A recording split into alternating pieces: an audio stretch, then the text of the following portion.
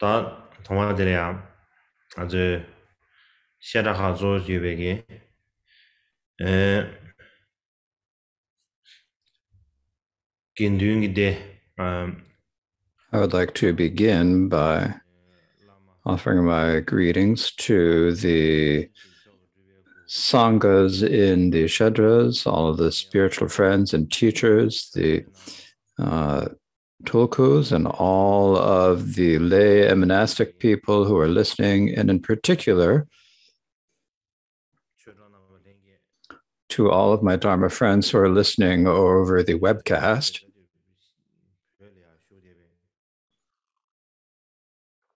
and especially to those who are who live in Tibet, all of our friends and relatives living in Tibet. I hope that you are all doing well.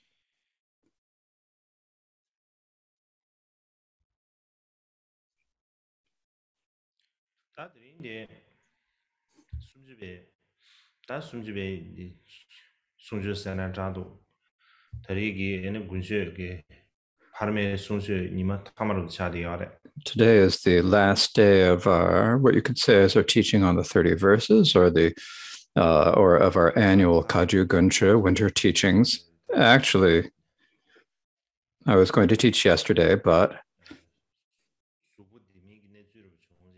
uh, but I uh, uh, started to feel a bit unwell and was unable to teach.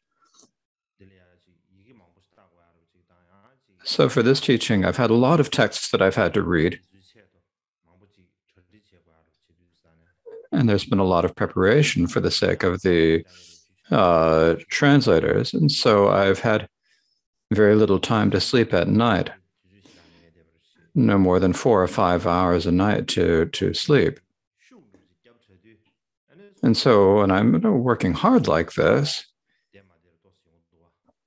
uh, sometimes your body doesn't feel so good. It's it's not like it's really being sick, but sometimes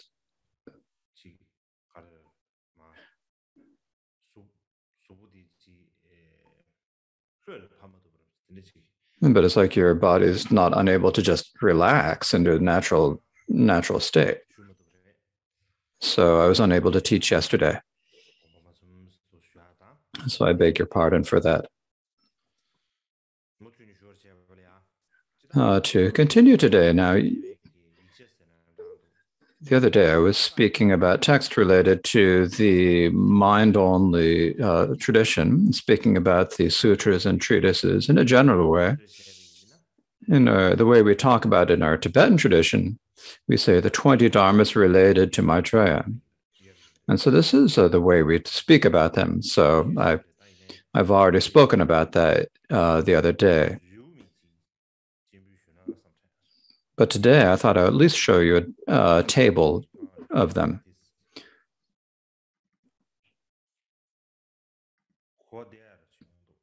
I think if you can see a, a table or a diagram listing them, then it's easier to understand.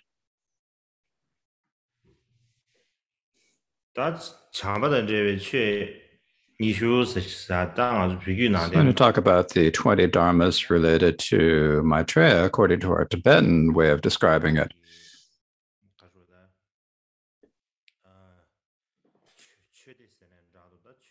These are works, Dharma works that are related to mind only, or so we talk about these 20 Dharmas that are related to Maitreya. This is what they are. Now, among these 20 Dharmas related to Maitreya, there are the five Dharmas by the by Maitreya. These are what we call the five Dharmas of Maitreya. The ornament of clear realization, ornament of the sutras, differentiating the middle from extremes, the differentiating phenomena from the Dharmata, and the sublime continuum. Now, I spoke about these the other day, right? uh, and generally even within our Kamtsang.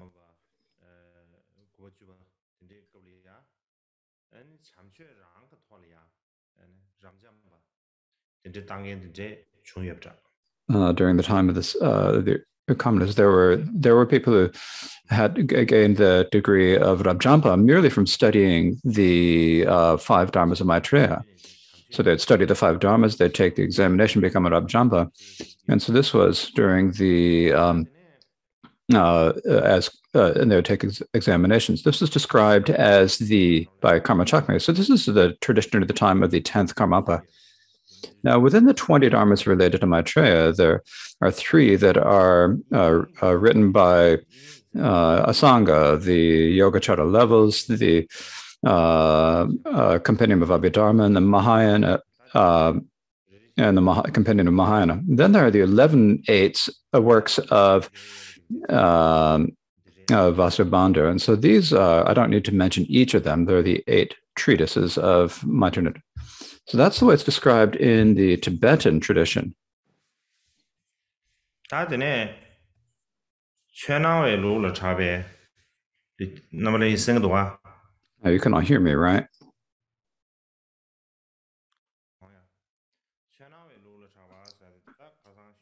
Now, in the Chinese phenom- School of Phenomenal Appearances, this is a Chinese mind only school. Uh, this is one of several mind only schools, and this is the most well known of them. Actually, later there was only the School of Phenomenal Appearances, and the other schools disappeared. Had al- they had already disappeared. Now, the um, sutras that form the basis of the mind only school, according to the School of Phenomenal Appearances, were the six treatises and the 11 treatises. When we talk about the six treatises, they are the Avatamsaka Sutra, the Sutra Unraveling the Intent, the Sutra The Aware of the Tathagata's Qualities, the Sutra of Mahayana Abhidhamma, the Sutra of the Travels to Lanka, the Ghanavyuha Sutra. And then the names of the 11 treatises. Just wait a moment, please.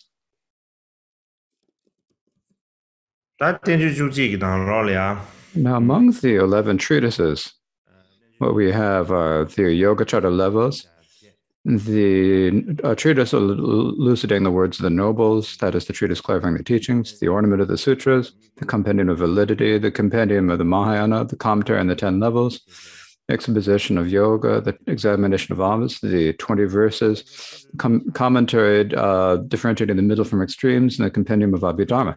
Now, the 30 verses is not included in here because the 30 verses is like the root text and so it's not included. And this is saying what are the support, the basic, the, the, the foundation for that text. So the 30 verses is not included in this uh, list.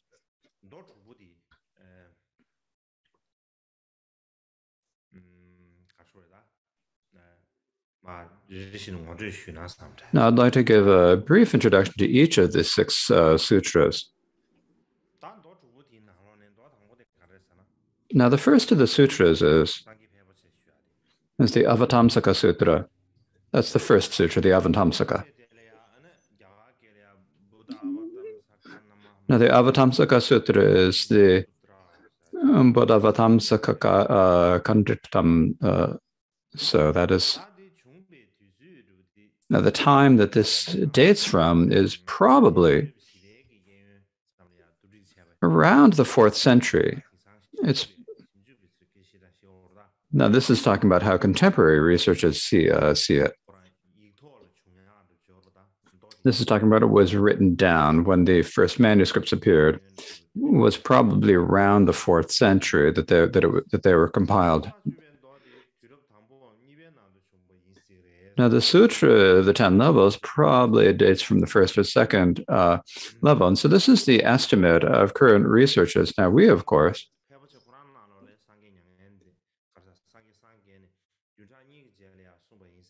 it is uh, what we say is that it's said in the uh, in the Avatamsaka itself, in the Sutra of the Ten Levels, is that the Buddha taught this two weeks after he uh, awoke to perfect enlightenment.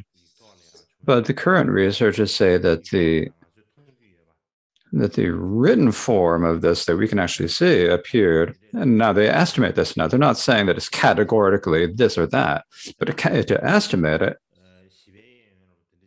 that it uh, that it uh, appeared somewhere around the fourth century. If you ask, is there a, uh, a Sanskrit manuscript? There's probably no complete uh, Sanskrit manuscript.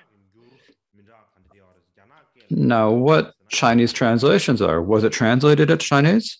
There are actually several Chinese translations.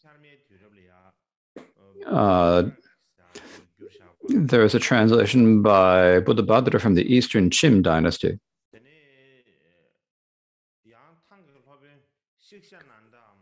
And then there was a, a master, Shikshananda uh, from the Tang dynasty.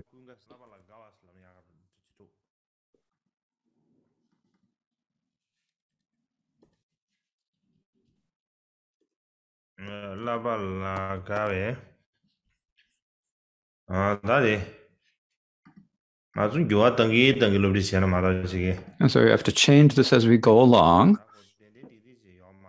as this is not a definitive thing. And so there's a translation by Shikshananda. Uh, this is in Gedan, uh, 110 uh, fascicles or bundles of uh, manuscripts. Then there is a 40 fascicle long or 40 bundle version by Tam Prajna. And so there basically there are three different uh, translations. Now Tibetan, according to the Pantangma catalog, uh, there is a translation uh, by Lotso Yeshide that is 115 fascicles or 115 long uh, small volumes of manuscripts. Currently, we have one that says 113, but in the Pantangma it says that's 115. And this sutra, if we speak about it in brief, it's called the Avatamsaka Sutra. Is in this sutra, the Buddha entered a sutra called the Ocean Seal, the Ocean Stamp, the Ocean Seal Samadhi. And so he uh, taught it while in this uh, samadhi of the seal of the ocean. And, and what he teaches uh, in this is he teaches what dharma he realized when he was sitting under the Bodhi tree achieving enlightening. So it's basically talking about the nature that he realized. And so, what is the dharma that he realized? That's what he's in, uh, introducing here. So, this is basically the origin of the sutra. When we talk about this Avatamsaka Sutra, it's one of the earliest uh, uh, Mahayana sutras, and is extremely profound in its meaning. And so, it's in that aspect, it was uh, different from the other sutras and very became very well known. Now, among the three translations into Chinese, the first is 60, 60 fascicles, and the uh, second is 110 philosophers. So it was a very, very long text. It had a lot of different fascicles or, or volumes. But when we look at this sutra, we call the whole thing a sutra, but actually within it, there are in particular chapter and 10 levels in the chapter of entering the Dharma expanse, which I think about in terms of the times, are they're estimated to probably be earlier texts. Be, and the reason is because there is a the the the chapter on the 10 levels uh, was extracted and called the Sutra of 10 Levels, and that was translated early. And if we look at the time of the translation, the chapter, the 10 levels, and the, cha- and the chapter of entering the Dharma expanse were probably from an earlier time. So this is the estimate. Likewise, these two chapters on the 10 levels and entering the Dharma expanse are, in terms of their content, they're different from the uh, other uh, the other chapters. Uh, and in particular, the, the, chapter on the 10 levels is extremely important for the mind only. So it was taken apart, taken out, and became what is called the Sutra of the 10 Levels. And so there is that independent sutra, right? But in actuality, the Sutra of the 10 Levels is like a chapter of the Avatamsaka that is taken and presented separately. Many people think that the uh, Sutra of the Ten Levels is an independent sutra, that it's a different sutra. So I think there are probably who, th- who think this, but in actuality, it is actually a chapter of the Avatamsaka Sutra. Now, if we think about it in terms of China, this is an extremely important uh, sutra. The reason for this is that there, among the various different uh, schools that flourished in China, one of the most important was the Avatamsaka school. Now, the basic, the indispensable dharma of this text was the Avatamsaka Sutra. Likewise, there was a very, uh, it was an extremely well-known uh, sutra throughout China. It was a, even if we think about it in uh, India, actually, for the Yogacara mind only, the Avatamsaka was extremely influential. How it was in, influential is that within this sutra there are uh, was taught when the Buddha entered the ocean seal samadhi and then taught the sutra. So he's sitting in samadhi, he was sitting in yoga and teaching the experience of his yoga. And when you're teaching the yogic experience, if it's speaking in terms of experience, the the thought of the entire sutra is really very close to the thought of the of the mind of the mind only. The entire sutra is really tending in the mind only direction. So, so we can see this form of attending in that way.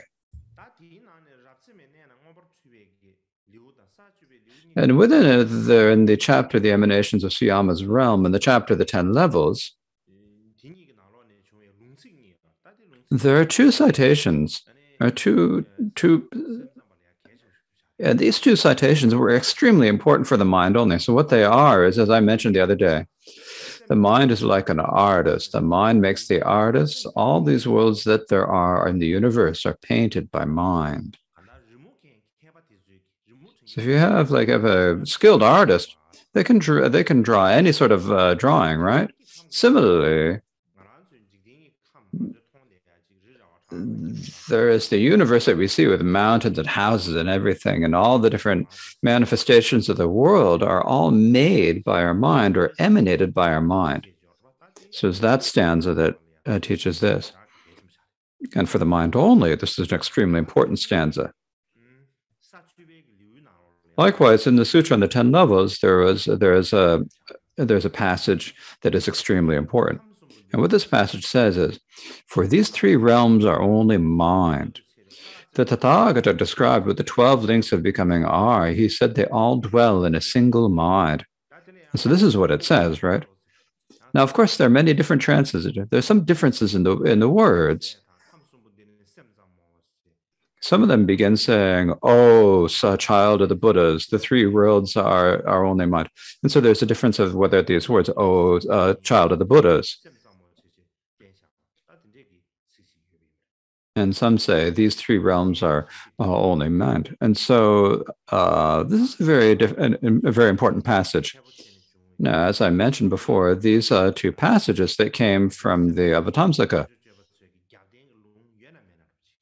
were like the you know the most important critical uh, support for the mind only view, and so for that reason, the Yogacara uh, uh, mind only considered the Avatamsaka to be extremely important because it was like their, in, their indispensable support.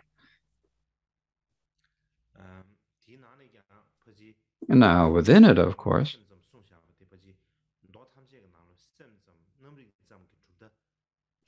uh, the, the passages teaching the mind only are are probably the earliest uh, clear indications of the mind only among all different sutras.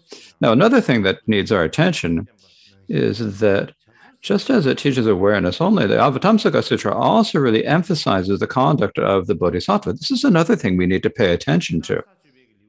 Now, generally, within the chapter on the 10 levels, it speaks about the stages of Bodhisattva's practice and how, and how their clear realization becomes gradually more profound. There's quite a bit describing this. Likewise, the chapter on entering the Dharma expanse and describes how Kumara Sudhana followed 53 school uh, spiritual friends. And this is very well known, right? Often we talk about following spiritual masters and be giving teachings on that.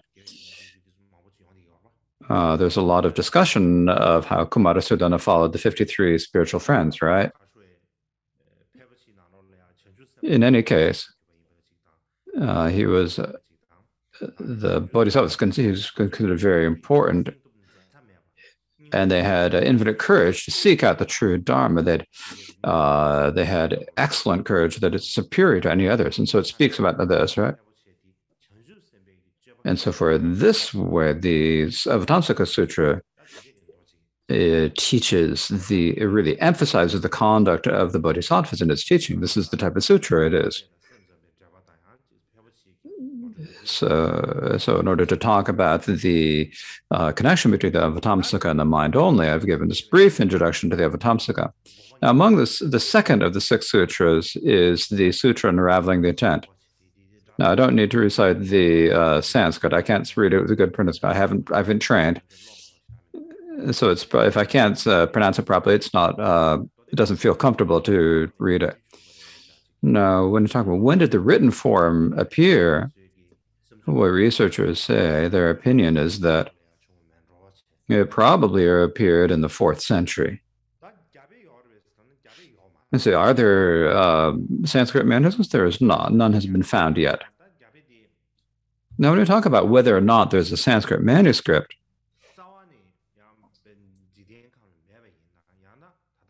is it that there is no Sanskrit music at all, or whether there it just hasn't been found yet? There's a difference. Now, in general, in Tibet, there are probably a whole lot of uh, Sanskrit manuscripts. Uh, they're probably all. Uh, they're probably during the time of the kings. They're probably uh, uh, uh, collated and put separately, and probably in, in, in the entire world, there are the most uh, Sanskrit manuscripts in Tibet. Oh, but they were probably kept. Uh, they were kept and stored, but they weren't uh, publicized outside. But I think we have this hope that eventually we can find more and more of these Sanskrit manuscripts. So the Sanskrit manuscripts are extremely important, especially for researchers. for them, the Sanskrit manuscript is like a wish fulfilling jewel. It's like this is the the actual manuscript is like the the Sanskrit. And so you can look at what are the words that are used, what are the terms, what is the style. And then if they want to study these, if without a Sanskrit music, if they look at the translations in other uh, other uh, languages, then that's not so helpful. And so for that reason, the Sanskrit manuscripts are extremely important. And similarly, there are there are probably thousands of volumes of uh, Sanskrit manuscripts. That's our great hope.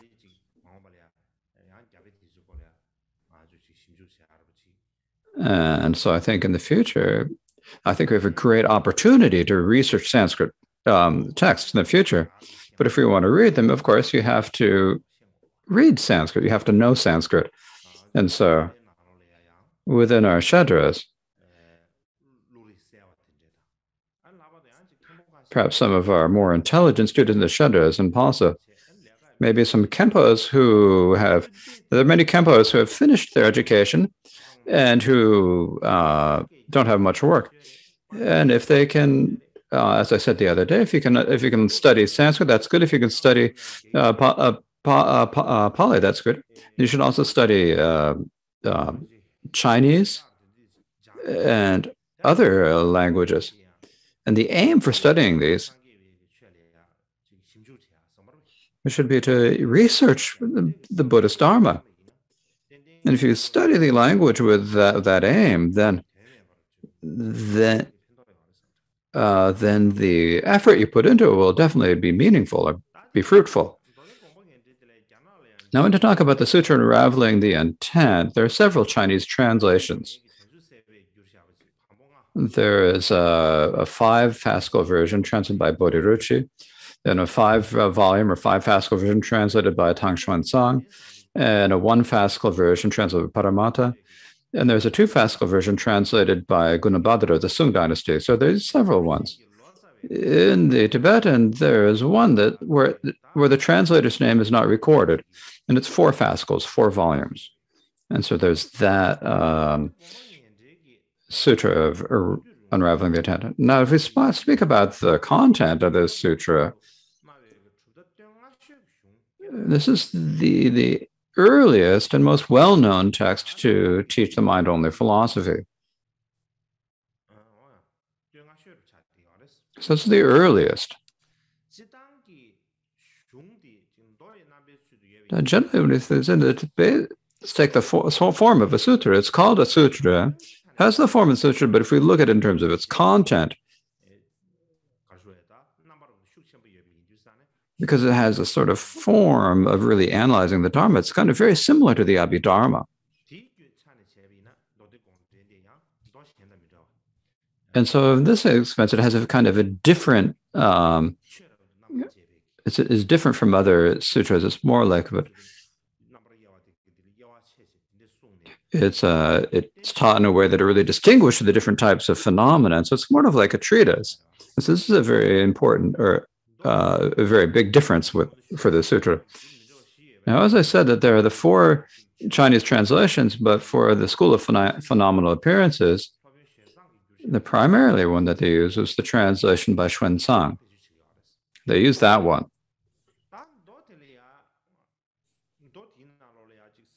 You know, in this sutra, there are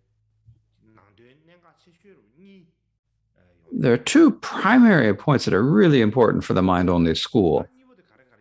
And what these two sutras are to I give a bit of an explanation. There's a chapter on vast intelligence. Now, the names of these, uh, uh, the, now the, the names of the chapters uh, are different in Chinese and they are in Tibetan. So I've uh, teaching this, translating the Chinese term into Tibetan. Now, if you look for the Sutra on Vast Intelligence in the Tibetan version, you won't find it. But in the Chinese, there's this chapter on vast intelligence. What it teaches in there is that it teaches the six. The, the Buddha had previously taught the six, uh, uh, the, the six consciousnesses, the five sensory consciousness plus the six mental consciousness. It taught the six, uh, uh, six conscious, and it says that there's a mind that is far more subtle than those six earlier consciousnesses. And it says is that with the name that it gives is given for that. It's a, it's called the mind of all seeds. Perhaps if you translate to Tibetan as in uh, there's this mind of the seeds of everything, but actually that's would be more understandable. But the or earlier translate called it the mind of all seeds. Another name it's called is the grasping consciousness, or another consciousness, the all ground consciousness. And then third name is it is called the mind. And so it's got this there is this uh, mind that is far more subtle than the subconscious, and It is called the mind of all sense. The, you can call it the grasping consciousness, you can call it the ground consciousness, or you can call it mind.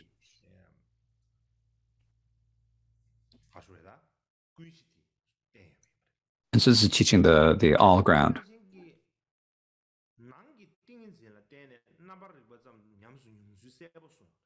Now, it also very clearly explains how the consciousness only is experienced through internal samadhi.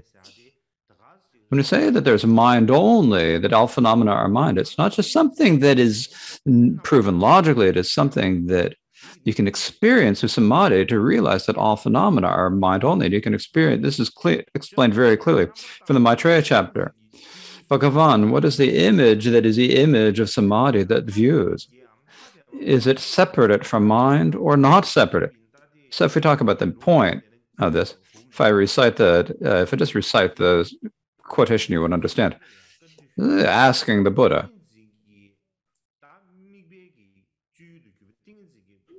when you're when you're meditating on samadhi and you're resting in samadhi, there's like the image that you see of the external things, the image of external things.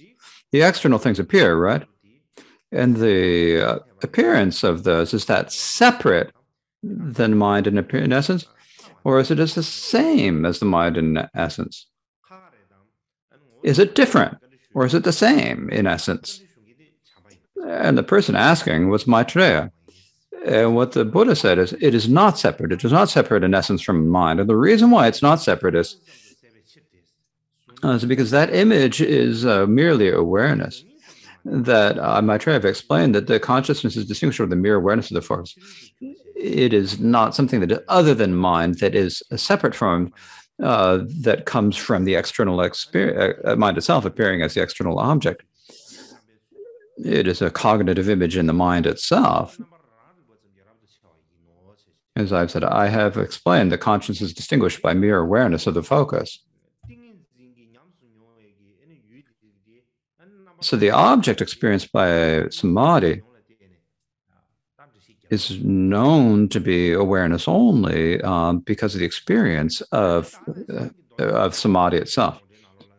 Likewise, in the Sutra Unraveling the Intent, there are discussion of the three characteristics or the three essences and the three, three lacks of nature.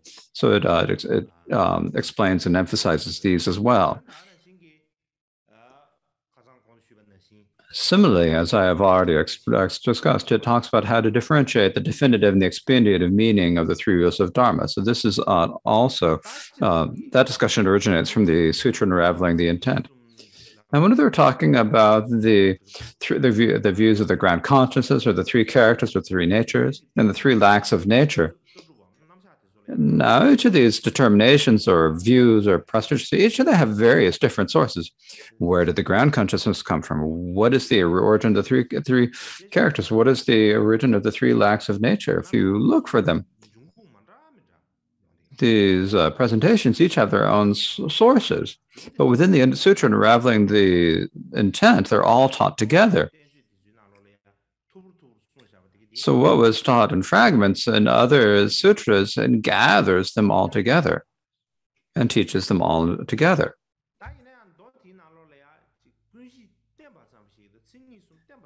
But this sutra basically just teaches that there is the three ground consciousness, the three characters, and three lacks of nature, but it doesn't talk about what is the relation between the ground uh, uh, consciousness. What is the relation between the three consciousness and the three lacks of nature? It doesn't really explain in detail what that is, explaining all the distinctions is. Also, in the sutra, the, there's the term grasping consciousness is used for the for the eighth consciousness.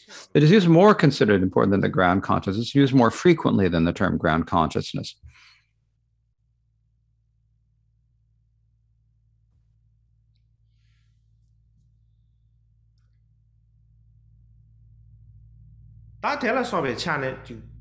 So in terms of the expanse, the Sutra, the Unraveling the Expanse is it's like one of the early mind only sutras. And the reason for this is that the mind is basically taught, is, is mentioned, the three characters are mentioned, um, but the relation between them are not clearly taught. So therefore, the Sutra Unraveling the Intent uh, must have been one of the earliest mind only sutras. Because the later sutras uh, in later sutras, the presentations of these become clearer and clearer. The relations between these features become uh, clearer and clearer. And so, for that reason, they, they estimate that the sutra unraveling the intent must be one of the earliest sutras. Likewise, in this sutra, one thing it teaches is one feature, characteristic of the uh, uh, this is uh, the Sutra Unraveling the Intent is that there's a really strong influence of the Prajnaparamita Sutras. And how we know this is that within this, the characteristics of the ultimate truth are taught in terms of five different points. So there are five different points to determine the ultimate truth. Likewise, there's a chapter, the characteristics of no characteristics, now, this is a chapter that I've that is uh, from the Chinese version. It's not the name of the chapter in the Tibetan version. What this teacher, chapter teaches is that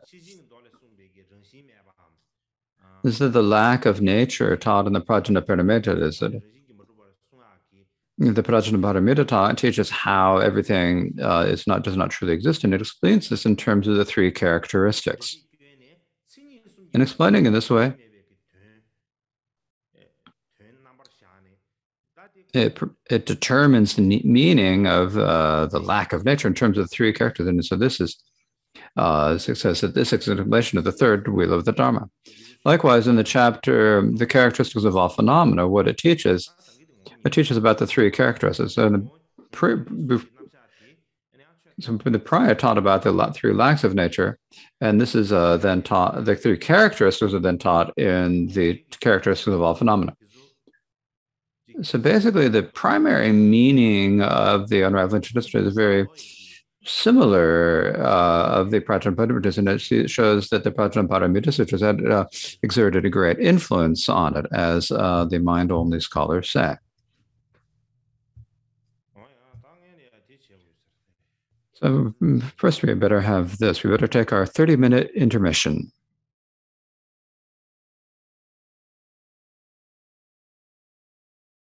呃，tā tā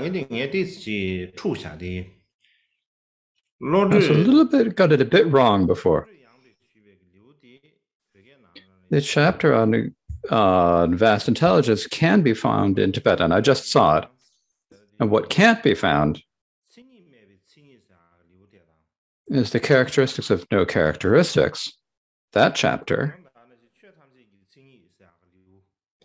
And the uh, chapter on the characteristics of all phenomena. So those two chapters are, have different chapters than the uh, than the chapters in Tibetan. So that's an area that needs some research.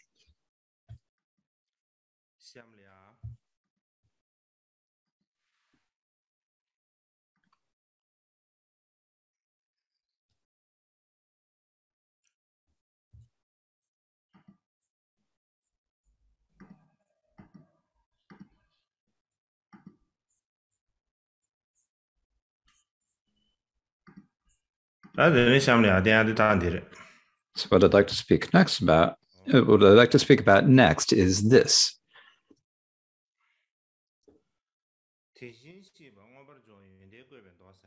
And the Sutra of the Array of the Tathagata's Qualities. And we don't know what this is called in Sanskrit, nor is it known when it appeared. And likewise, there's no Sanskrit manuscript. It was, it was uh, not translated into either Sanskrit or into Chinese or Tibetan. The way we know of the existence of this sutra is because it is, uh, as I mentioned, there's the treatise Proving Awareness Only that is translated by Xuanzang. Now, there are quotations for this sutra in that treatise, but other than that,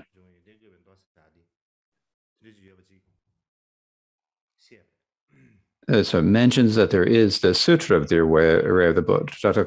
Uh, it is not present in either the Chinese or the Tibetan canons, and there's no uh, Sanskrit manus- uh, manuscript, so it's really extremely difficult for us to say actually what it's what it teaches. But if we look at the title of the sutra, then there is a chapter in the Avatamsaka Sutra called the chapter on the origin of the Tathagatas Actually, the Tibetan transit is probably the teaching on the ocean that names the Tathagata skies. It's the same, probably. So we can see that it's probably similar to related to that chapter because if we look at the and title, then it seems very similar to this chapter on the chapter on the origin of the Tathagatas. But it's difficult to say this definitively.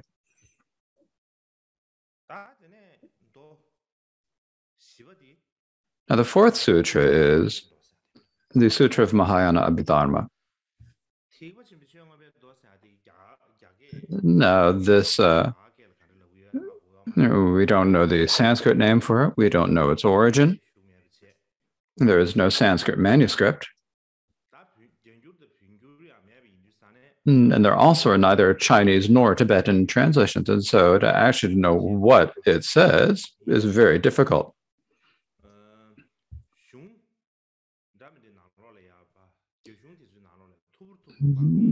But there are fragments of it that are cited in uh, many other Indian tra- uh, treatises. And when you look at these uh, tra- uh, citations, we can uh, understand that this is actually an extremely important sutra. And some people also that this must have been well known before Asanga. And so this is, this is how it must have been because. So now, what some people say is that, what some scholars say is that when Asanga wrote his compendium of the Mahayana, the, what he took as his basis was the Sutra of Mahayana Abhidharma. Since we can't read the sutra itself, that we cannot read the sutra, and what we do have now are just a few passages that are uh, cited in other uh, treatises. So nothing else of the sutra remains. So it's difficult to say what the thought of the entire sutra is.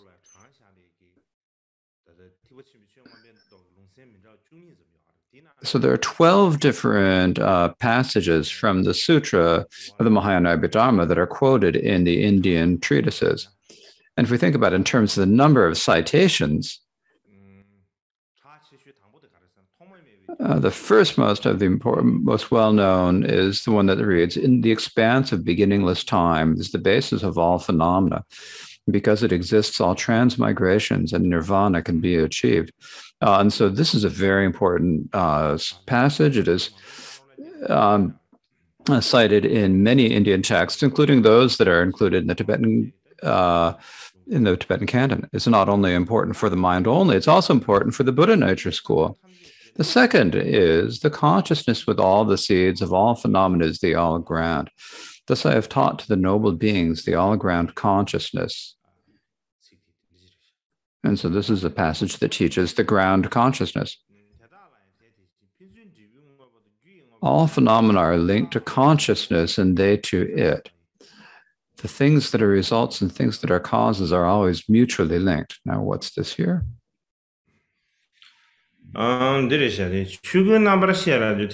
So it says here, all phenomena are linked to consciousness and deity. Things that are mutually cause and result are always linked to each other.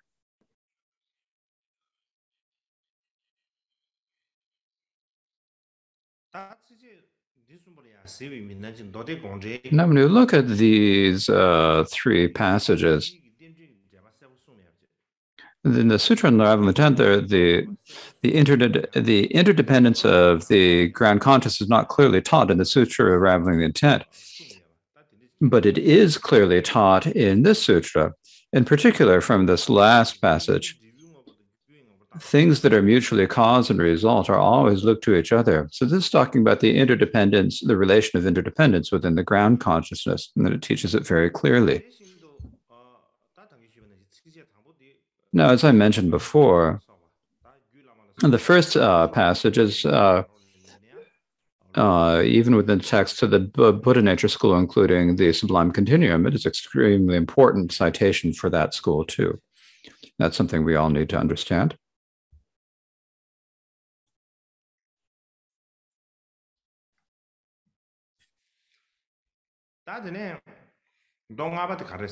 Now, the fifth sutra is the Sutra of the Travels to Lanka.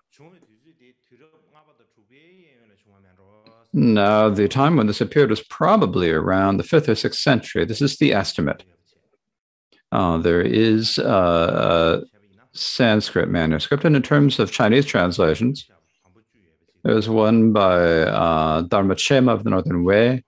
It's in 10 fascicles, one in seven fascicles, translated by Tang Shikshananda. Oh. So the translation by uh, Tang Shikshananda. And then there is a translation by the Gunabhadra of the Sung dynasty in four fascicles. In Tibetan translations, are the Travels to Lanka Sutra. Now, in some catalogs, it's said to be translated from uh, Sanskrit. Some say that it's translated from Chinese, but it's not clear who the translator was. And there are 11 fascicles, 11 bundles or volumes. Then there's the essence of the teachings of all the Buddhas uh, from the Precious Travels to Lanka Sutra. And this is translated by Gochudrup in eight fascicles.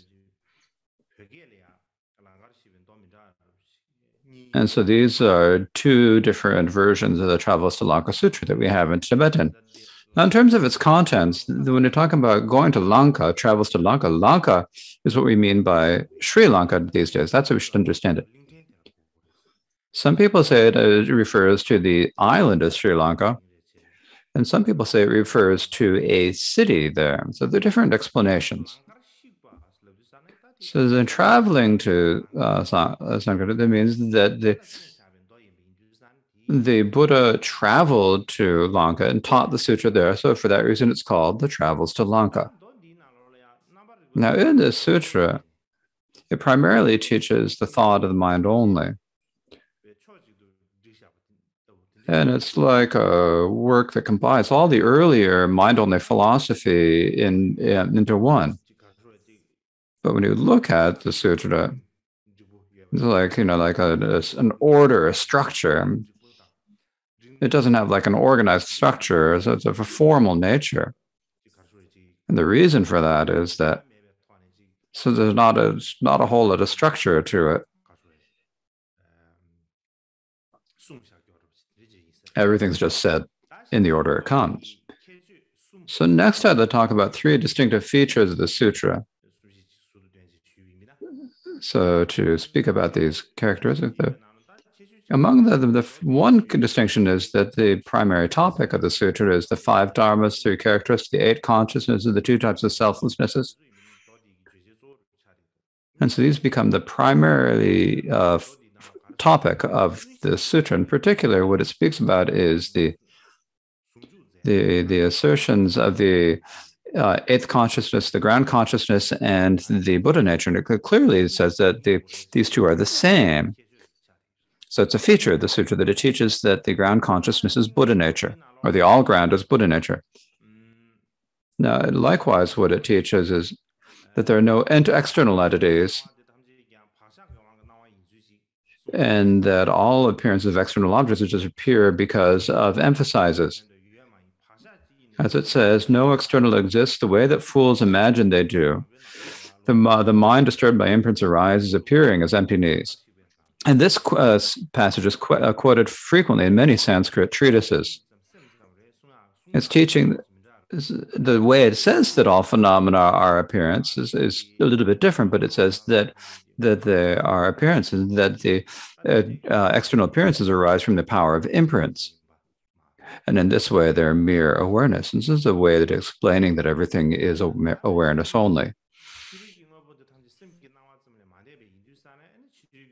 Now, since more no appearances are no more than a mere appearances to mind, then it's uh, very important to uh, abandon our attachment to external objects. And so it emphasizes how uh, to abandon that attachment.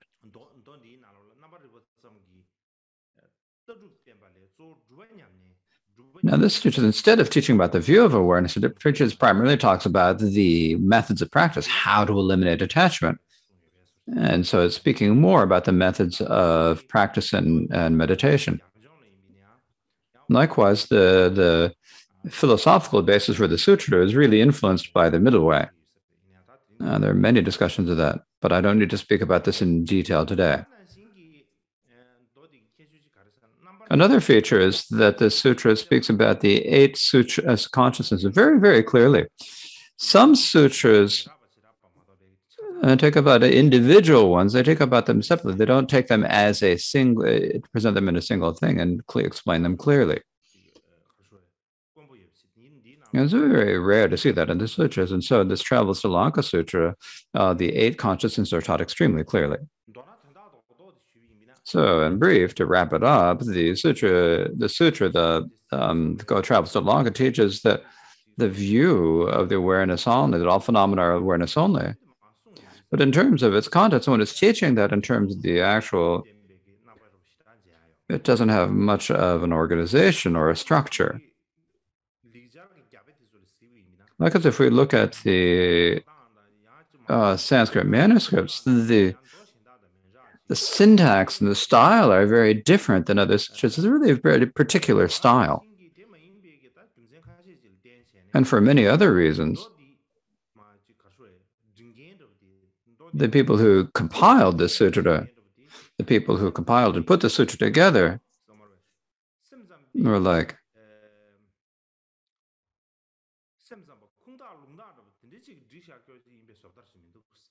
seems like they're people are compiling the, the sources of the mind only.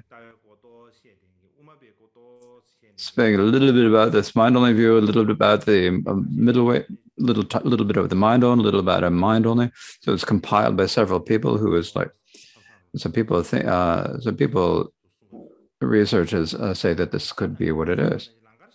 Now, as I said before, there is a Sanskrit manuscript for this that travels to Lanka. And when we look at this, it doesn't really seem that it was all appeared at a single time. Some things were written earlier, some written later, as it seems very uh, many different forms. But but the basis for this, the the like the kernel of the travels to Lanka, the, the period time that that appeared, it comes from somewhere around the third century. But later, it seems like many things are added to this. And it seems to come, come to its present form that we can see now in around the fourth century. Now, another point there are no quotations from the Travels of Lanka Sutra in the works of Vasubandhu. And so when we see this, we can see that, that the, the Travels to Lanka Sutra probably was after Vasubandhu, not before that. So there's that doubt. But these days, there's there's one uh, position is that Vasubandhu lived in the fifth century. So this is a very uh, strong position. So uh, if we if that is the case, then there's support for the idea that sutra precedes or predates uh, Vasubandhu.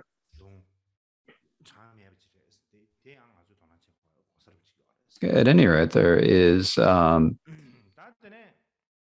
um, there are no citations of the sutra in the works of, of Vasubandhu.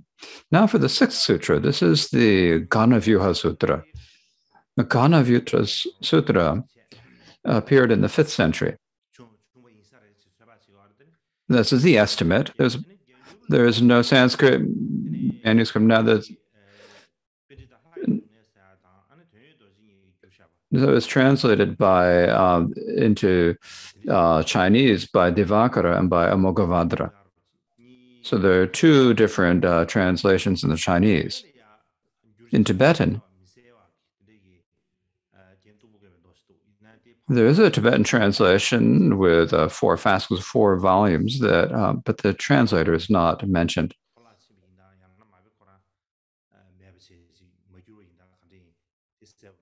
So a, it seems that there is a bit of it is missing. That whether they didn't have the, the, Sanskrit manuscript or whether there were parts of it were lost, it's not clear.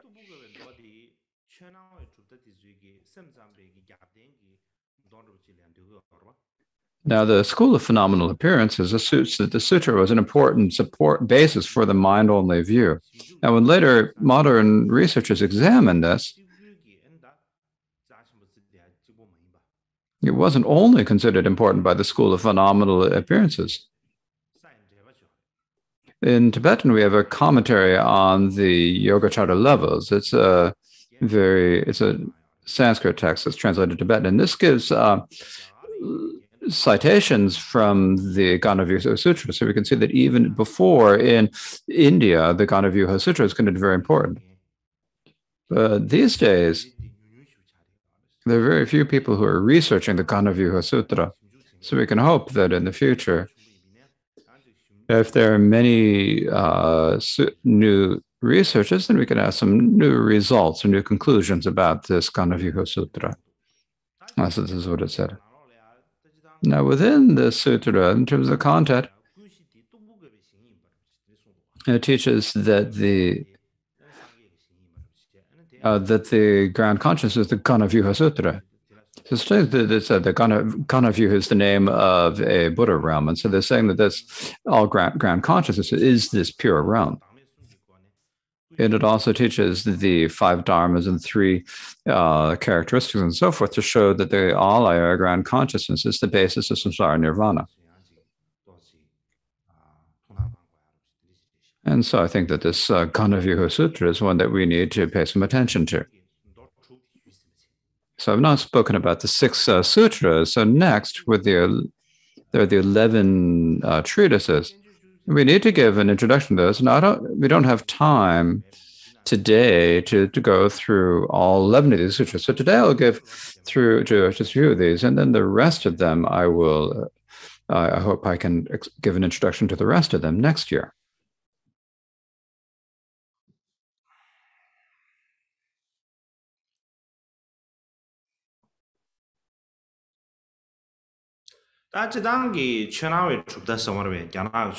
So generally, we talk about the school of phenomenal appearances in China and talk about the, the supporting scriptures, the supporting sutras and treatises. And we have in terms of sutras, there are six uh, sutras, and among the six sutras, the one that is most opinion is the uh, sutra unraveling the intent.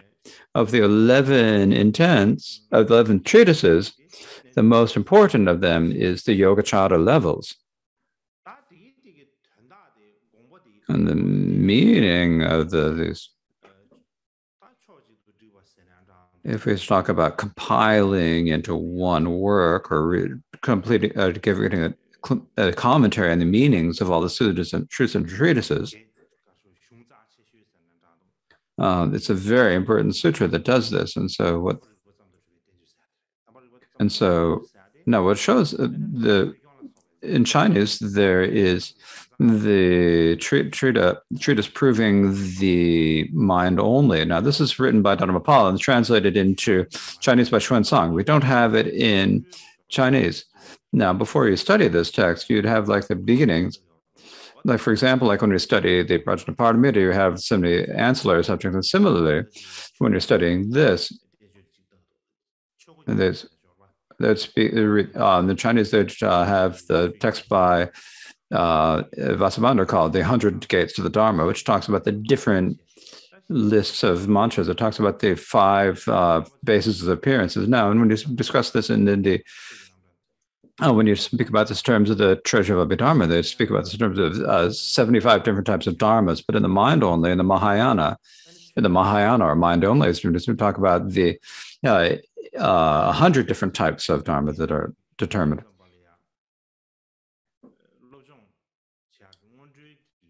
And since this is like uh, an important step for the initial stage is a study of the mind only. And another primary uh, uh, introductory text for uh, the uh, for the School of Phenomenal Appearances is a text by Xuanzang called "Delineating the Eight Consciousnesses." Now, I've been I've translated this into Tibetan, but I'm not like hundred percent satisfied with it but in the future, perhaps if I can uh, get a nice a nice translation in the next year and maybe show it to you on the future. Anyways, these two sutras are like the two introductory texts. And so I thought I should uh, uh, mention this. So next among the 11 treatises, there is the Yogacara levels. The Yogacara levels is said in the Chinese trans uh, situation, said to be written by Maitreya, and in the Tibetan tradition, we say it's written by Asanga. But some Tibetan scholars say, some Chandra says,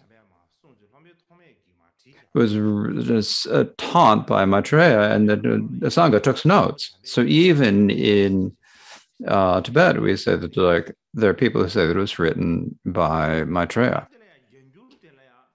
Now, the in the Chinese translation is the treatise called the Yogacara Levels, translated by Tang uh, Xuanzang. This is a hundred fascicles. It's very large. It's very complete. Otherwise, if we think of there are many other translations of the sections from it, like the Bodhisattva levels. Well, there are many other translations, but the complete translation is was by Tang Xuanzang. Now, in Tibetan, the, the Yogacara levels was translated by uh, by uh, um, translator Yeshe De and it's in 130 fascicles. It was translated during the ancient translation period. Now, its uh, distinctive feature is in terms of its uh, topic, primary topic, or its feature is is the teaching the the stages of experience of those practices uh, of the meditators of the Yogacara. It teaches the seven different stages, the practice or of experience that they have, the, the paths, stages of their paths and levels. Likewise, this Yogacara Levels is like the earliest organized and structured text that teaches the mind only philosophy. Since this text is 100 fascicles long, so it is a very long text, right? And when you look at these texts, what they said in the ancient times is called the long commentary on all the sutras. And just as they're called this in the ancient times, if we look at because it condenses the essence of the thought of many sutras that all appeared earlier. It gathers them all into one and compiles them all. And so, for that reason, it is like called a compendium of all Buddhist knowledge. It has the teachings of the foundation greater in Mahayana vehicles, the teachings for the Shravakas and the Bodhisattvas, So basically, it's a compendium, a Buddhist encyclopedia. Likewise, when you're thinking about the connection between this text and the mind only philosophy, the from the fascicle 75 to 78, these uh, fascicles or volumes all quote um, all of the they collect the entire uh, sutra intent except for the uh, introduction. Otherwise, it just it quotes the entire text. And not only, and if we look at just this, uh, we can see how much of an influence the sutra unraveling the intent must have had on it. There's no need to mention it; it's very obvious. Likewise, when we think about the Yogacara levels, the most important sections are the main part on the levels and the compendium of ascertainments. Now, these are the main part of the levels and the compendium of the asanas. If we compare these two, if we do a comparative research into them, the part of the main part does not really give much of a structured presentation of the philosophy of all ground. And it uses the, it doesn't even use the terms um, three characters in the, the, the three lacks of nature. Now, but in the con- competitive awareness, with a certain degree of structure, there's a discussion of the uh, presentation of the mind of the ground consciousness. And the way it explains it as we go through this, it teaches it terms of the eight reasons for the existence of the all ground. And it also talks about the eight reasons for how appearances arise from the all ground. And then um, in the end, how appearances then disappear into the ground consciousness. So it talks about the nature of the ground consciousness and the functions of the ground consciousness. It examines these in detail. So for that reason, uh, this presentation of the of the all ground consciousness is very clear in the uh, Yogacara levels, and so it's because it was the beginning of the presentation of the all ground that uh, became clearer and more developed. So that began with the Yogacara, uh, with the with the section of the Yogacara levels, the compendium of ascertainments. Likewise, the Yogacara levels also had a very strong influence on later masters.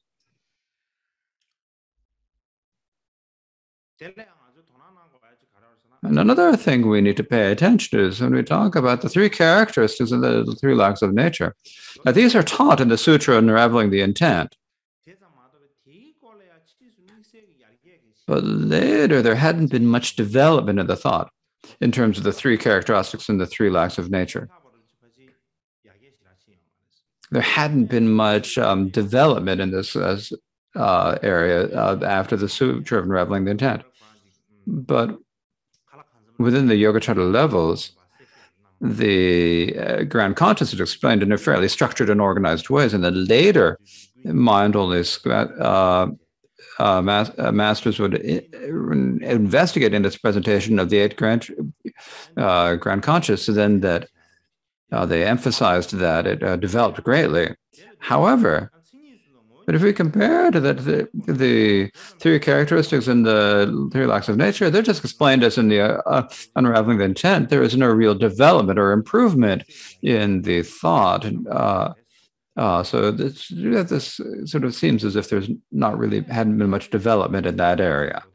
Now, the second treatise is the ornament of the Mahayana Sutras. Now, the ornament of the sutras, you can say there's a verses and prose. Now, there's the verses are the text, and the prose is a commentary. Now, the Chinese consider both of these to be uh, equal in tenets. Now, so that's the Chinese tradition. They consider it equal uh, importance. Now, in the Chinese tradition, the verses and prose are considered equal importance, and there so many. And so these days, many people talk about it in terms of the verses and prose. In any case, the verses were by Maitreya and the prose is by Vasubandhu. And there is a Sanskrit trans uh, title. And the Chinese translation is in 13 uh, fascicles translated by Prabhakaramitra.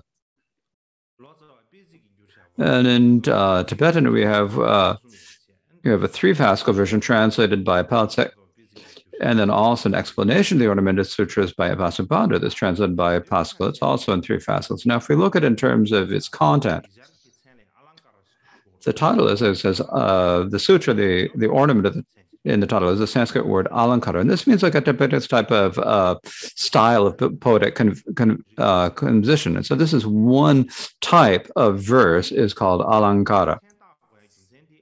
Now, the reason it's called an alankara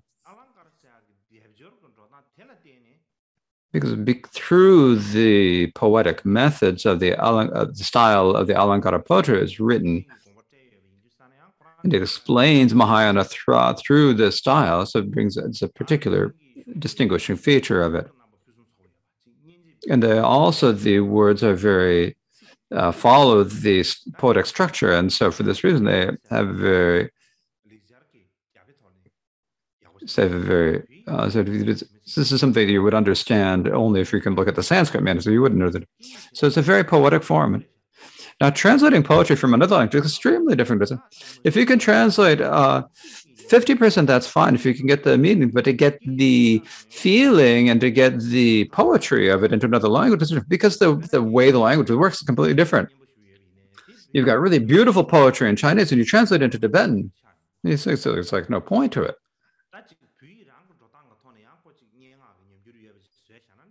And if you make it into something that has its own poetic, Tibetan sort of poetic it's a different matter. But but if you translate the meaning literally, then you're just translating the meaning, but translating the word literally, you can't do that. So translating the poetry eh, perfectly into another language is just something you can't do.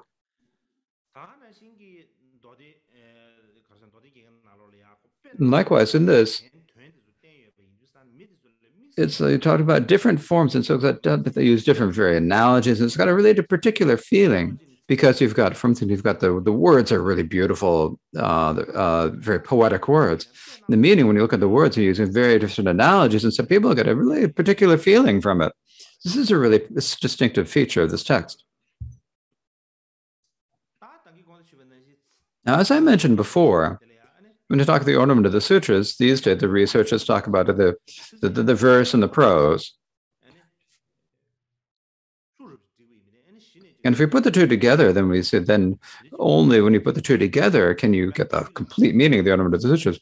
For example, if you study the sublime uh, continuum, for us we have primarily the verses, but if you look at the um, when you look at it,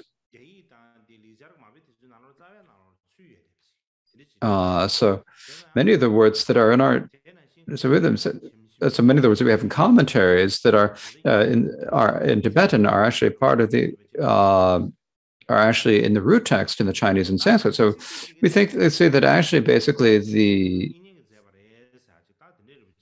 so when you look at this in terms of the ornament of the sutra, it's uh, said that it's said in the in China that with the ornament of the sutras that uh, the verses were written by Asanga and the text by uh, by Vasubandhu. And there are different positions on this.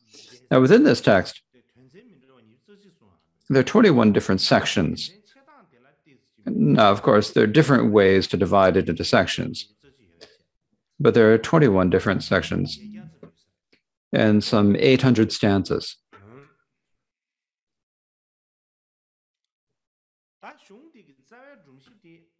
Now, the basic con framework of this text is the, like there's the, the bodhisattva levels from the yogacara levels, right? So it's the same as the bodhisattva levels. They're taking the framework of the bodhisattva levels, taking the framework and the way of doing things, and it's written based on that.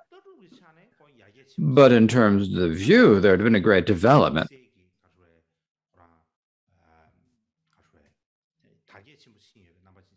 Uh, so it shows that the great improvement great development in terms of the view.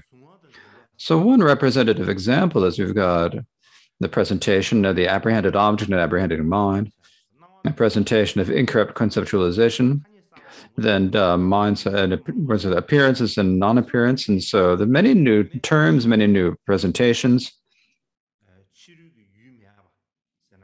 So there's when you say that there's no external object, the external entities do not exist and that all phenomena are merely mind. It's giving a new explanation of these and a different explanation of them. But within the ornament of the sutras, the the ground consciousness and the other characters are not particularly given a structured explanation. So what we can tell from this is that this ornament of the sutras, if you think about it in terms of the Tibetan, it is written by Maitreya.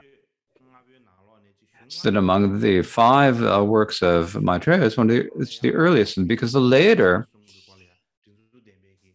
uh, the later works give um, structured explanations of the ground consciousness and the three characteristics. That's if you think about it in terms of the development and the changes, then that is how it would be.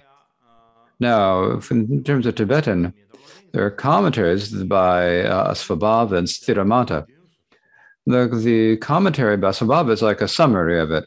And if you compare it to, to its uh, commentary, is more detailed. So it's very uh, useful in the research of the ornament of the sutras. The third uh, text is the differentiating the middle from extremes. Now, this uh, differentiating middle from extremes, there are also verses in prose. In the Chinese uh, translation, if we talk about the prose and verse, in uh, in the in our Tibetan way of speaking, we talk about the verses just being the verse and the prose or the con- commentary. But in the Chinese, different. Uh, there is a two version by uh, Yi Jing and then a three uh, fascicle version by Xuanzang. In terms of Tibetan, there are there there's the 700 or the the, the 70 um, uh, the uh, the 70, uh, 70 verse uh, translation of the the 70 verse translation of the poetry by Maitreya, and then the commentary, a separate translation of the commentary by Vasubandhu.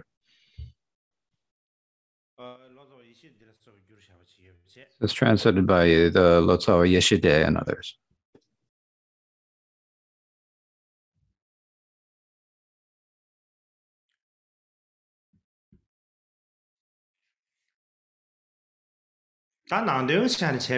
In terms of its content, the the text has five sections and it has probably about 110 stanzas.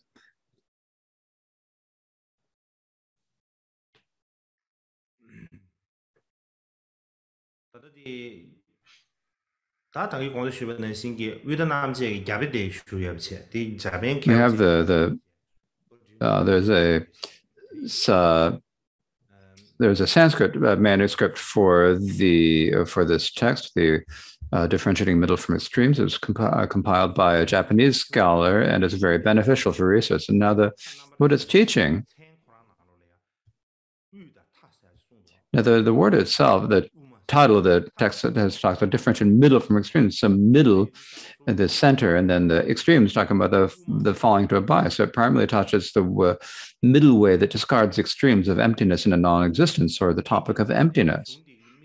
And so for this reading, one of its particular features is that it teaches the meaning of the middle way in terms of mind-only philosophy. This is a real feature.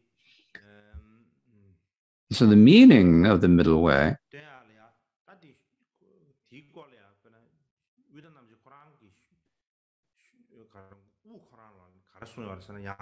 what it says at the very beginning about this at the beginning is there is in conceptual there is incorrect conceptualization.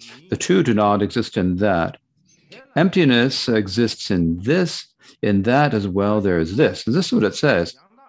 And it's saying there's incorrect conceptual vision so there is this incorrect conceptual and because of that there are the apprehender and the apprehended because of in concept composition, there there is the apprehender and apprehended.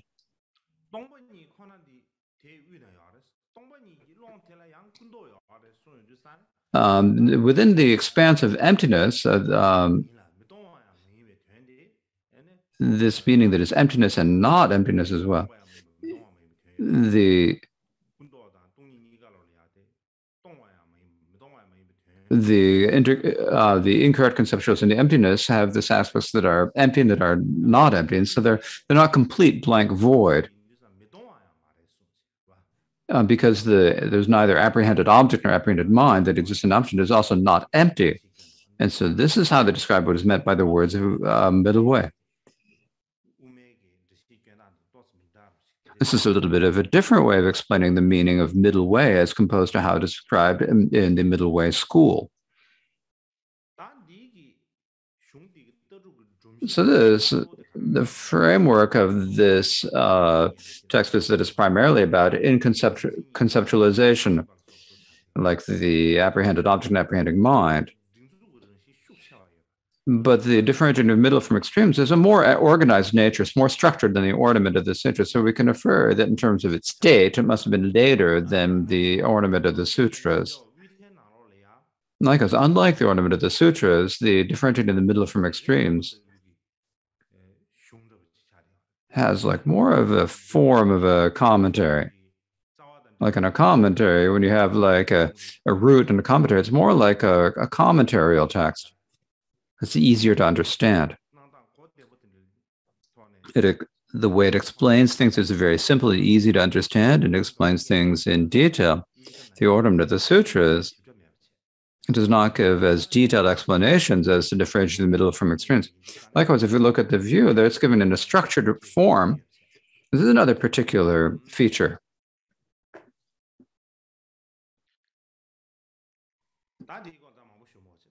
I don't need to speak too much about this now. The next is the Compendium of Abhidharma, the fourth uh, treatise.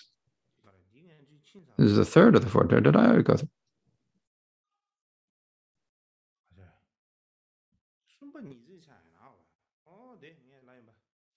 Oh yeah, there was one there. Oh no, I've got two third, two third treatises in my presentation.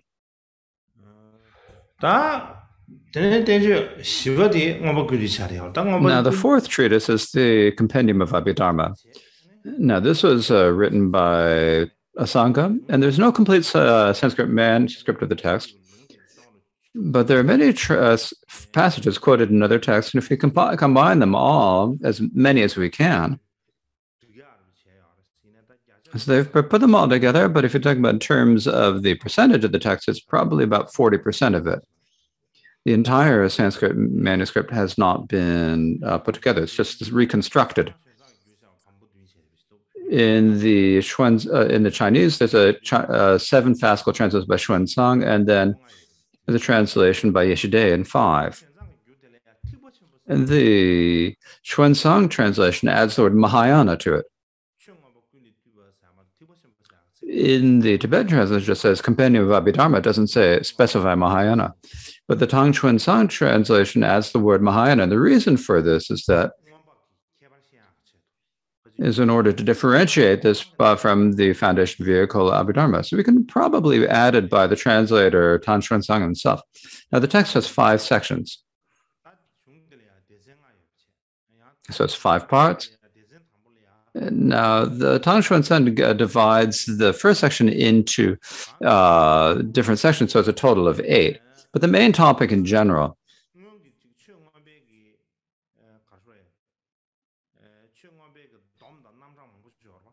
So in like in the earlier Abhidharma, there are many different summaries and terminology. And so it then comments them uh, and explains them all in a way that accords with the positions of the Yogacara school.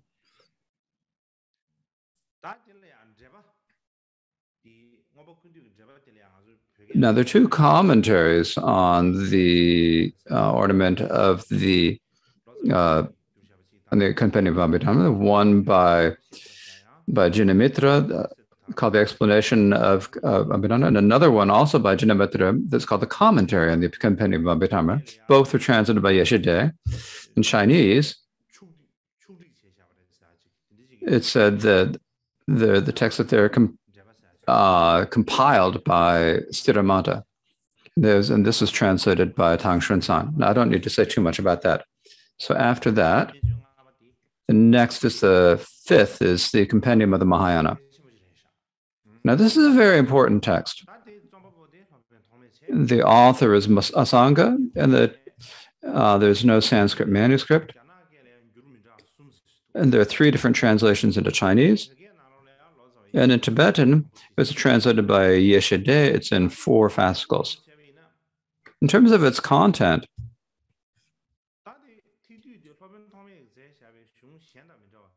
it's different than the other text by Asanga. Not only is it related to the mind only, but it's also considered a very important mind only text.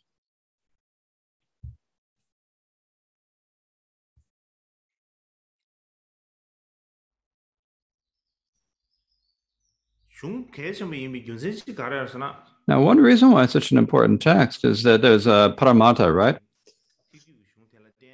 The, because of the tra- uh, Paramartha's translation, the compendium of the Abhidharma, there is a developed a compendium school in China. So what that really traces back to is this compendium of Mahayana, right? So this gives us an idea and how much of how important the text was and how much of an influence, even just knowing that amount of history, uh, you can understand this. Now, uh, uh, Tibetan scholars, including Buton Rinpoche, say that the is the uh, so that the compendium of the Abhidharma is like a compiles the essence of all phenomena. This trend is, is like the compiles the meaning of the Mahayana, and so in this way, it's like the summary of the uh, uh, these two texts together are both called the two summaries. Now, if we think about the different the origins of this, because this this text has the, explains all the stages of levels uh, levels are explained very explained very clearly. It is probably a very early mind only text.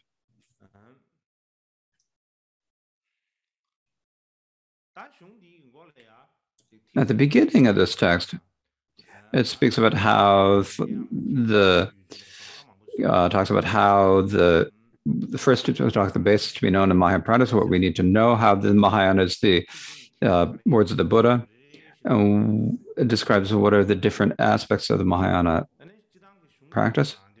Generally, in this text, text has some different has different ten different sections. The first is the all ground, the second. Then there's the three characters, the three of missions, uh, ten different sections. I don't need to mention them all. And sort of among these 10 different sections,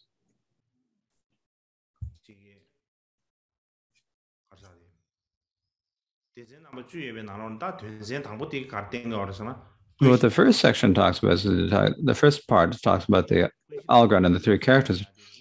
You talk about the, the, the all ground and the, the, this is talking about the um, the things that the basis for knowledge of the Mahayana practice. The, the third to the eighth section talks about the conduct of Mahayana practice. Then the ninth and tenth talk about the fruition, the result of the Mahayana practice. So, in brief, through these 10 sections,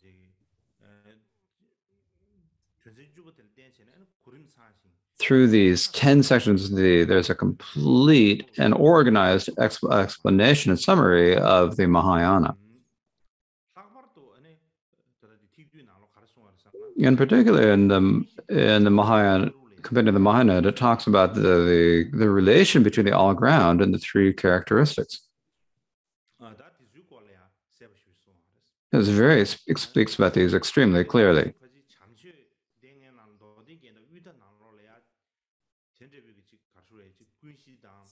And that relationship between the all ground and the three characteristics is and how they are identified is not really described in the text of Maitreya, such as the uh, ornament of the sutras and the differentiating the uh, middle of its extremes. And so that's one reason why the compendium of the Mahayana is, is particularly important.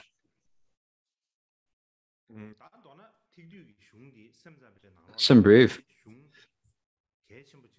This um, the main reason why the compendium Mahayana is an important mind-only text is that it probably takes all the mind-only views taught in earlier sutras and treatises and it combines them in an organized and structured way. As but it talks about the three characteristics of the khandhas, its specific characters, its causal characteristics, its resultant characteristics, and it identifies its characteristics clearly. It clearly identifies the meaning of the seeds and the meaning of the four meanings of imprints and so forth. And so in this way,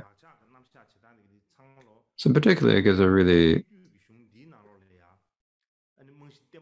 the the presentations of the seeds and imprints give have like find a really strong foundation in this text, the compendium of the Mahayana. So to sum it up, this compendium of Anupana knowledge clearly identifies the characteristics of the ground consciousness. It also takes the interdependence of the ground consciousness and how the uh, imprints occur, how the uh, how the other consciousness put, uh, put imprints in the ground consciousness. And so it talks about the interdependence of the ground consciousness and he uses that to prove the essence of the mind only philosophy that all phenomena are mind only. And so this uh, uh, this is a distinguished feature of the Compendium of the Mahayana. It's one of the most, it is the most important of the texts written by Asanga.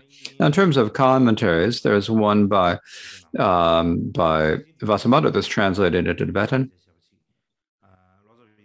There are also uh, one by Asvabhava that's translated by Yeshe De. In Chinese, uh, Vasubandhu's commentary was translated by Paramartha and also by uh, uh, in the in the Su in the Swede and also by Tang Xuanzang. So there are three different translations. The one by Asvabhava is also translated by uh, Tang Xuanzang. So both of these commentaries uh, by Vasubandhu and Asvabhava are in both Chinese and in Tibetan. There's also another translation in Tibetan. It's not clear who was written by. So there's another translation, but this translation,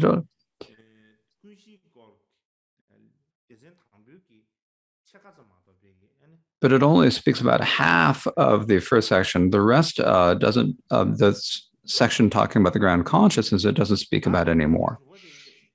Now, the sixth section is the treatise uh, clarifying the teachings of the treatise elucidating the words of the nobles. it's said to be written by Asanga. Some say it's written by Vasubandhu. There's no Sanskrit manuscript. And there is uh, Tang Xuanzang's Chinese translation into Chinese. Now, in Tibetan, uh, it was not translated into Tibetan. The main point is this. It takes off the, the, the, the points from the Yogacara levels. Oh, yeah. Uh, so the Yogacara levels, right? So it takes the points of the from the Yogacara and it explains them clearly. And so for that reason, so if we want to know what the connection between Yogacara levels and Asanga, this is a very important text in terms of researching that question. Now, last thing I thought, last thing I'd like to explain today is this. I can't talk about all of the 11 treatises, but the last one I want to speak about is the 30. Because we're talking about a teaching on the 30s, and I haven't even talked about a single verse from the 30 verses. So I need to give at least an introduction of the 30 verses, or it wouldn't be okay. So I'm going to give an introduction to the 30 verses. the, the, the verses on the 30 uh, the 30 verses it says it's translated by Yeshe De. Now, the translation, Chinese translation was the Tang Sang.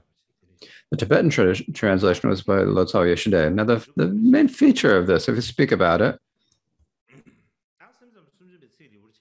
now the 30 verses, so the mind only 30 verses, is a late work of Vasubandhu's. After he had finished writing this work, he didn't have enough time, he didn't live long enough to write a commentary on it. And so if you look at it this, and we we can see that like the like the final result of Vasubandhu's lifetime of work investigating philosophy. And if you could also say it's like the most complete presentation of philosophy, it's okay to say that too. Generally, we have uh, both the 20 verses and the 30 verses were written by Vasubandhu. Now, in the Chinese, in both for the 20 verses and the 30 verses, they add the term mind only to it. Uh, the 20 mind only verses, the 30 mind only verses. And so they add the, the words of mind only to it. But these words mind only are missing from the Tibetan titles. It's called the 20 verses and the 30 verses. There's no term, word mind only. But I think if we added it, it would be good. And the reason why it would be good is if otherwise, when we say the 30 verses, then immediately we think about is the, the 30 verses, the grammar text. And so there's a danger that will confuse the, the mind only 30 verses for the grammar 30 verses. Likewise, the 20 verses uh, primarily refutes other uh, traditions. It translates translate the assertions of non-Buddhist Orthodox Hindu schools and Buddhist Kriya schools who assert that there are objects that are other than the mind. So it's written to just to uh, re- refute them, to to disprove the prefaces, and likewise, it is also to when we say that all phenomena are are only mind, there are doubts, doubts and questions that arise, and so it's written in order to dispel those doubts and questions. So it's primarily uh, to refute other traditions. Now, the 30 verses, in the 30 verses, all the natures and presentations related to mind only are taught in an ordered and organized fashion. So, so it gives a structure to the thought that proves the mind uh, awareness only. It gives puts it in order. It gives it a structure. It is a very clear presentation. Now, the 30 verses is, of course, only 30 stanzas long. And since it's only 30 stanzas, it's a very short, but its uh, meaning is uh, complete. So it teaches the the essence, the the forms, of the result of the aspect, the essence of the path. So basically, it formulates all the stages of the mind only in a very structured and ordered fashion. Now, for this reason, the, the Indian scholars of that time, later scholars, and uh, modern researchers have said that like the when they're researching they're investigating the mind only the the indispensable text is these 30 verses if you talk about it the three the this there are three main topics or three main sections uh, so Xuanzang says that the three main sections so i'd like to give an introduction to them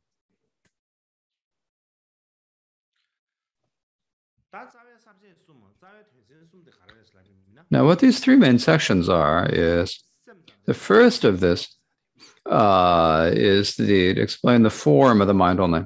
The second explains the nature of the mind only. The third explains the result of the mind only. So these are the three main sections. Now, from the first stanza of the 30 stanzas until the 24th, what they teach primarily is they talk about the form of the mind only. And that's the main topic. Then there's then the 25th stanza teaches like the nature of the mind only. That's what it teaches. Then tw- the stanzas 26 to 30 primarily teach the result of mind only.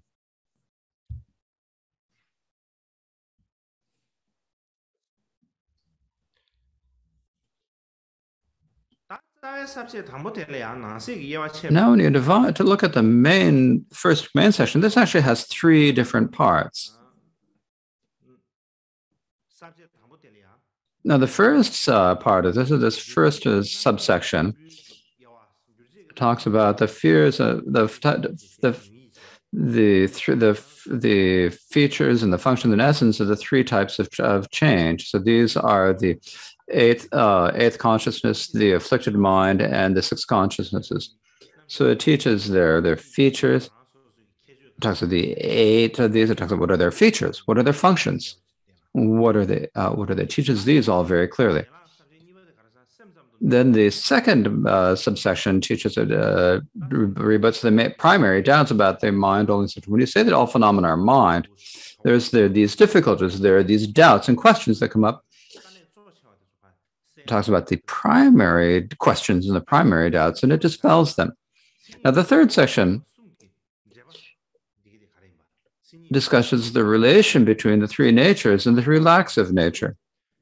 You've talked about the three natures, the three characteristics.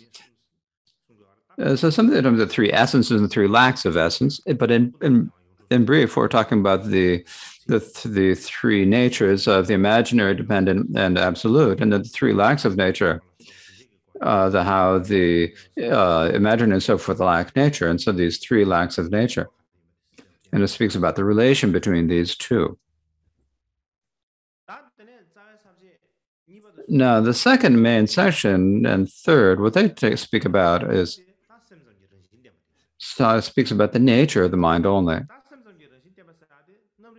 The nature of that is it, it, it sort of determines and summarizes this idea that all phenomena are mind only. Sort of wraps this up in it, and, and it uh, teaches that, and it emphasizes that they are all mind only. So uh, it resolves all this, it, sums them up, and it teaches how all phenomena are mind only. There are no external objects, there are no external objects there. Nothing transcends the nature of mind, and it emphasizes this.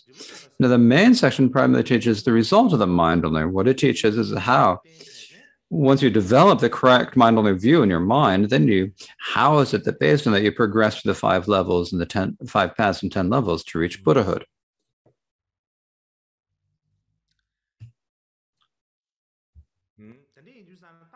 So, in, in brief, these 30 verses are like it's like the, the pinnacle of all of Vasubandhu's works, the greatest of his works. It's like the first it's like the first place among all his works. So now I'd like to speak of like a few of the reasons why this work is uh, so extremely important. Now the first of these is that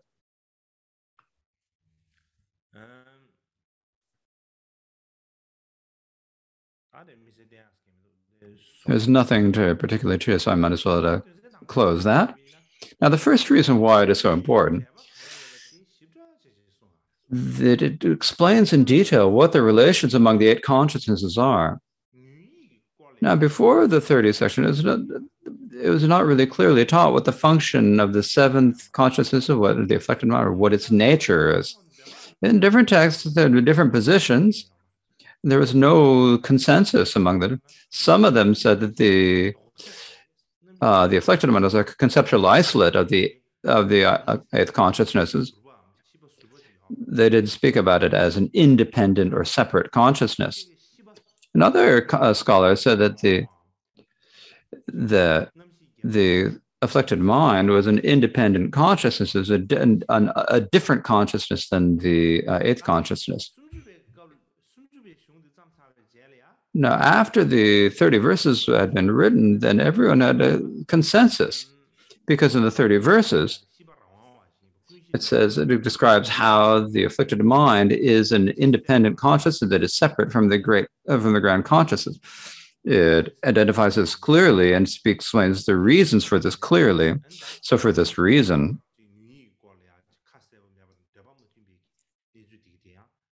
the earlier situation where there was no consensus and no clarity about the nature of the seventh consciousness uh, was was was rectified. Now, another uh, thing is that it unifies the three types of change. It's like a single essence. Before the three verses, we talk about the three types of change, the three types of change of consciousness. As it says in the beginning, it says it says our changes in consciousness in the very first stanza. Something about how the change of consciousness, how because the mind changes and how does it work? How does it change? And so that talks about the way that it going to talk about the there are many different opinions and contradictory opinions about the how the changes of consciousness before the 30 verses appeared. Some uh, traditions uh, during the time of the 18 schools that there's a, the consciousness there's a subtle consciousness, a single continuum of subtle consciousness, and because of the subtle consciousness, that all phenomena uh, could arise. So there's this uh, presentation in the earlier from the earlier period of the schools, and so later, other schools took the took this position of the mm, essence of this uh, presentation of the three type, uh, single type of essence and uses. Now, another presentation didn't really clearly identify it, like they, it's not clear, but they accepted the three types of change. But it's not as clear as this, but there's a sort of a form of that. Now, in the 30 verses, what it teaches when you say the three context changes, what it is is the ground, uh, the afflicted mind, uh, and the um, eight engaging con- six engaging consciousness. These are very clearly identified. And so, does in the previous, and it's sort of in the earlier position, you have the, the say that there's a one consciousness, and if you say that, then there's, there's a danger of becoming an assertion of mind that is like an independent, autonomous mind that is like the creator of everything, or it's like a a soul or self as uh, uh, posited by the external nature. So he changed the idea that everything was just changes in one consciousness, and he created the presentation, the interdependence of the ground consciousness. And because if you say that the ground consciousness alone, if there's only the ground consciousness and no other consciousnesses, then it'd be then you have that all consciousness is one. So the second you see, the first type of change is the ground consciousness. The second type of change is the uh, egoism or afflicted mind, and the, the other six consciousnesses are the six consciousnesses. Uh, and so, the, you know, instead of saying that there is a, instead of having a uh, single autonomous ground consciousness that does everything, you've got uh, different consciousnesses that have different functions. So for that reason, a very good presentation of the uh, of the ground consciousness, is a very fitting and very appropriate attention. Now, the third feature is of it is that so it talks about the relation between the dependent and the natures. It explains uh, in great detail what the relation between the dependent and the imaginative in the 30 verses, it's taught that without uh, stopping the grasping of the uh, grasping at the imaginary, yogis are unable to realize the actual meaning of the uh, dependent. So you've got the uh, the dividing the apprehending part and the apprehended part, and dividing the, the focus into the and the aspects, and dividing it into two different parts. The uh, you've got the the cognitive image and the, the and the apprehending aspect. Dividing these two, right? And because of this, then it gives a really it shows exhibits the understanding of the true image mind only school. And so because of this, this uh, text of the 30 verses it gets this presentation. So later the later we talk about the true image and the false image schools. And so the field from which these could grow uh, was the 30 verses because it divides the apprehended and apprehended different and uh, treats them differently. And so, for that reason, you can have the question of the uh, true image or the false image schools. The question is whether the cognitive image, like the cognitive image of blue that appears to an eye conscious as apprehending blue, this blue image of blue, is it true or is it not? That's that question that we have. Is it real or is it not? Is it confused or confusion or not? And so when you speak about this, then you have the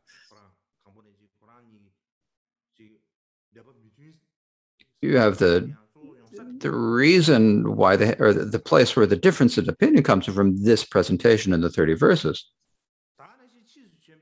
Likewise, many later mindfulness schools primarily wrote commentaries about the 30 verses. They wrote many commentaries about it. And because they wrote so many commentaries about it, and they also they had different understandings of the 30 verses. And because of this, the uh, distinction between the true image and the false image goes developed. But the beginning of the third uh, true image and the false image schools uh, traces back to the 30 verses. Now, when Vasubandhu himself was living, he didn't have enough time to life uh, in his life to write a commentary on it. But he had his students, and they're also their students, and the 10 commentators and others who wrote commentaries on it.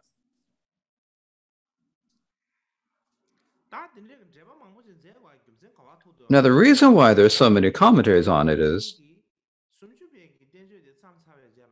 that after Vasubandhu wrote the 30 verses, then it became like the root text of the mind only school.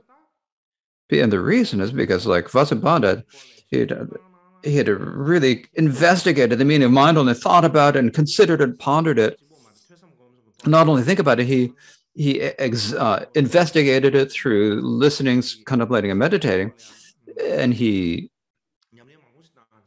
did a lot of practice uh, on the idea of mind only. And this is the result of that. And after he wrote this, he didn't um, uh, live very long before he passed to nirvana. And so, so there's nothing that so everything that he knew is included in this 30 verses. So that reason is like the root text of the mind only school. And everyone recognizes like this. And so for the money that you sort of think yourself uh, as a scholar of the mind only school, if you say if you want to have the conceit that you're a scholar of the mind, then there's no choice but to write a commentary on the 30 verses. And if you can give an explanation, then you can say you can show that you're a that you're a learned in the mind only. So for that reason, there are a lot of commentaries on the 30 verses. Likewise, even within the mind only, there are many had different uh, positions on how we should prove that everything is awareness only. And so you have the different positions of like the false image and the true image and so forth.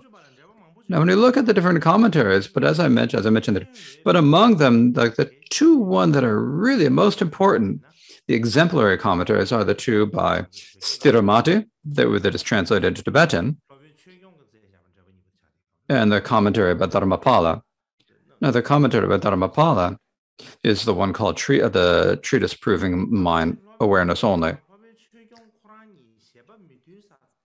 Now, if we think about the the main difference between their experiences, and if we talk, is it come down to how they explain the presentations of the 30 verses.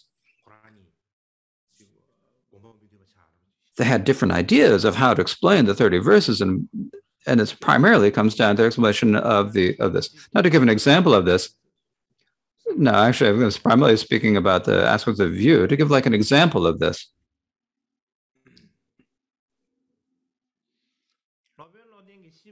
So Sthiramati says that cognition,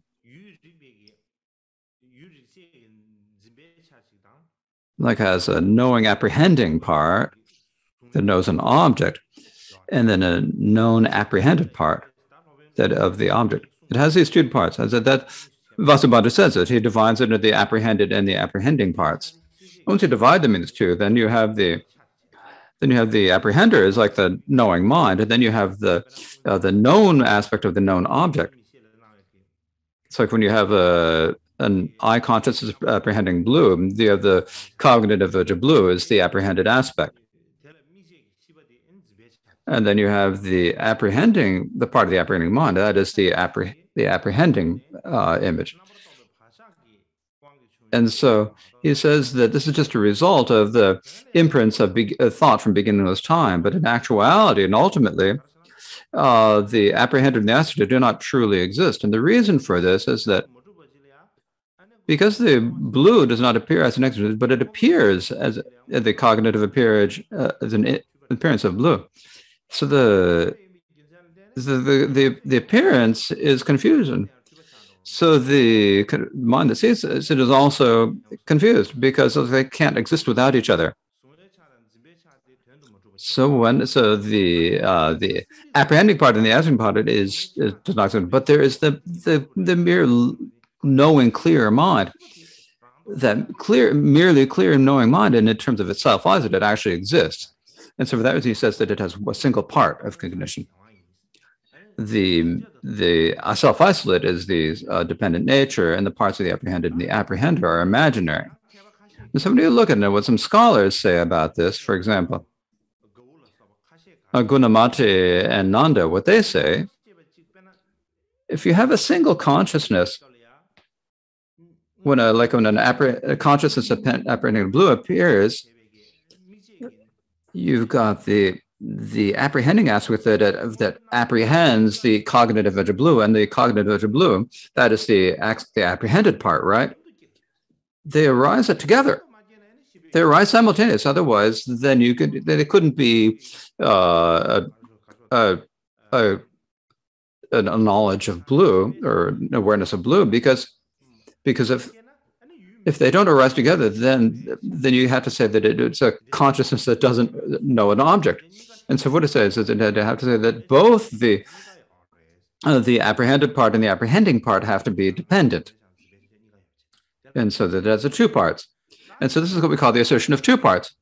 And then what uh, Dignaga said about this is said, you have the the the, the two dep- uh, apprehended and the apprehending parts, and they divide the depend- depending aspect into two, uh, the apprehending aspect into two parts. There, that has a part of it has that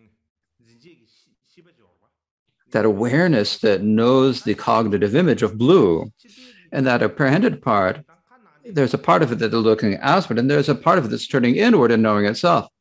And the part that is looking outside, what that is, is that is the uh, uh, that is the uh, sensory awareness of blue, and the part that is looking inside is the self-awareness of that part of asking. It is the self-awareness of the uh, of the uh, apprehension of blue. So this is a presentation of self-awareness, dividing the cognition into two parts, or the apprehending part into two parts that is directed outward, looking at looking out at the apprehension of blue, and then the self-awareness of that is uh, looking as the cognition of, of, that is looking inside.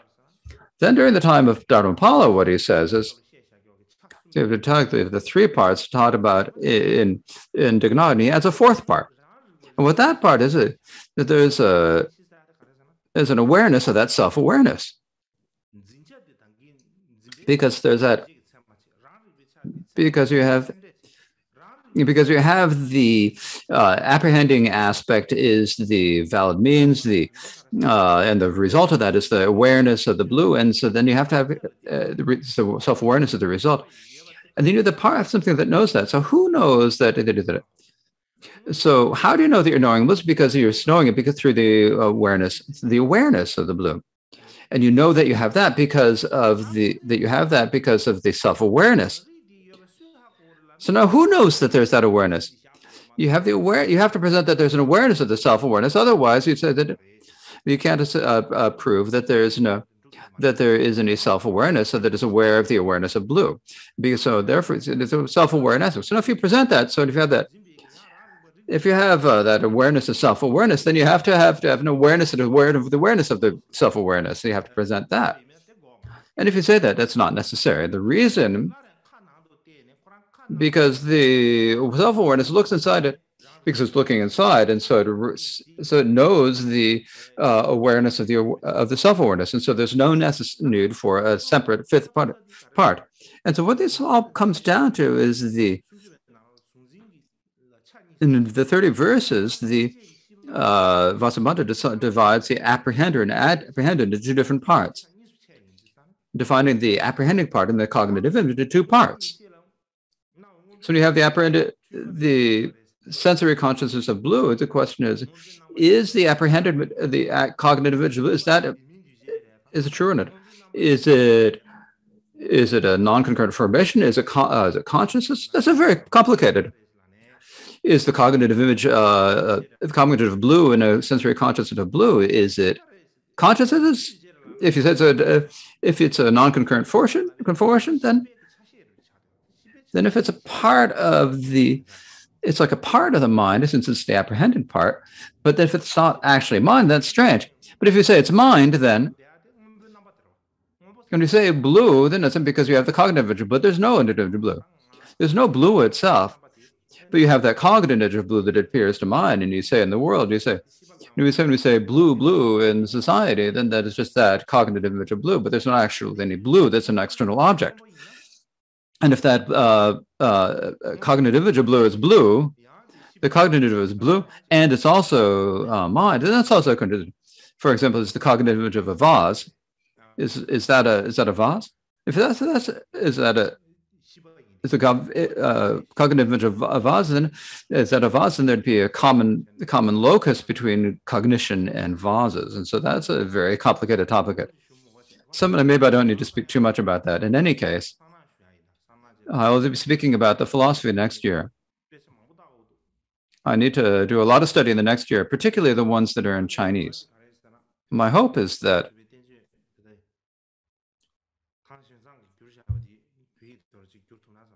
so I can translate the Xuanzang's uh, translation into Tibetan.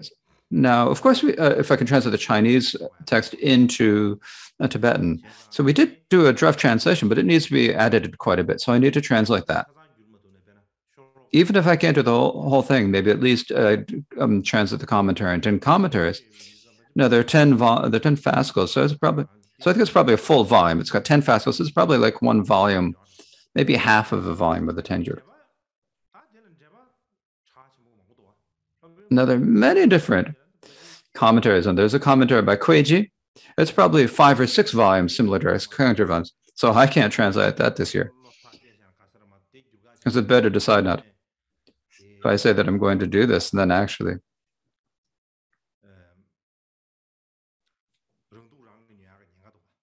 otherwise there's the uh, difficulty. I'm just going to be giving more difficulties to myself. So thank so that's all today. So that is the enough for the 30 verses study, and we'll continue teaching that next year. So we begin next. We'll uh, have the uh, dedication prayers.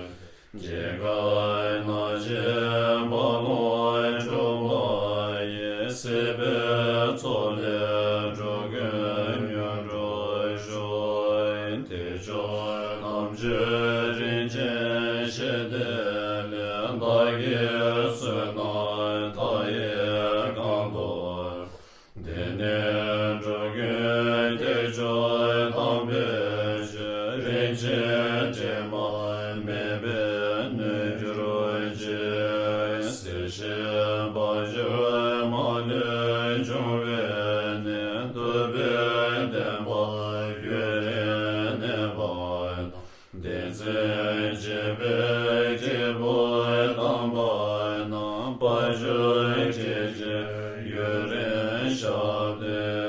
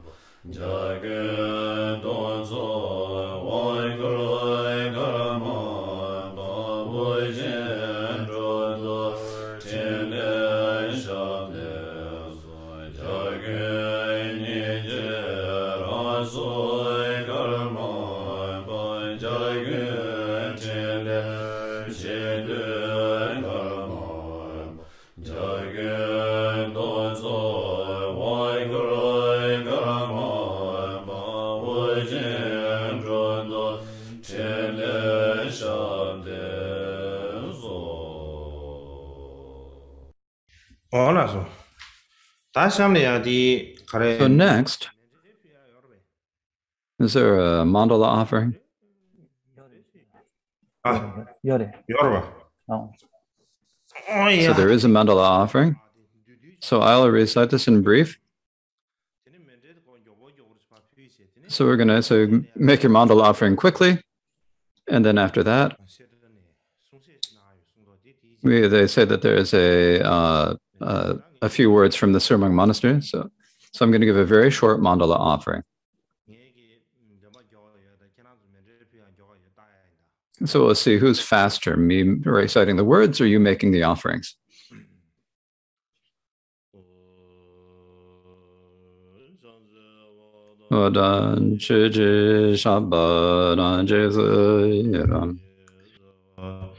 Kyewa chungse nage je saban, tamje nage janju je ngabo.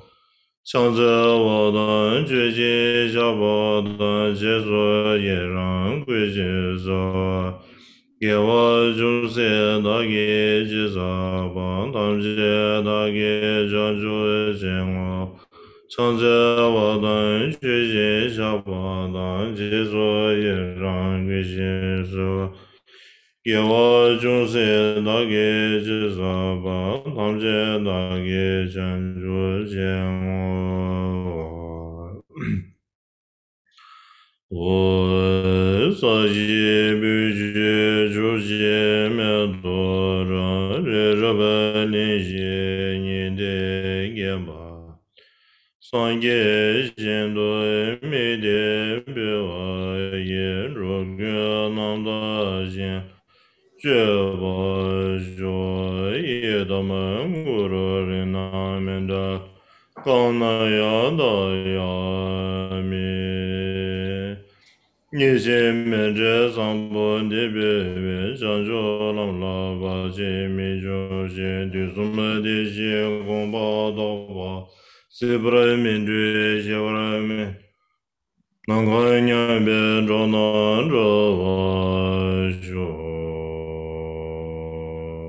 lama gungame zangla zo ande chodo kuze rinla zo chile dajin gela zo ande lama dan java me brajin gelo bande lame shabe denba kanyame yongla digin zhungwa dan dajin ma lu so sa dhijang nyudu sangye sa langa bara shom.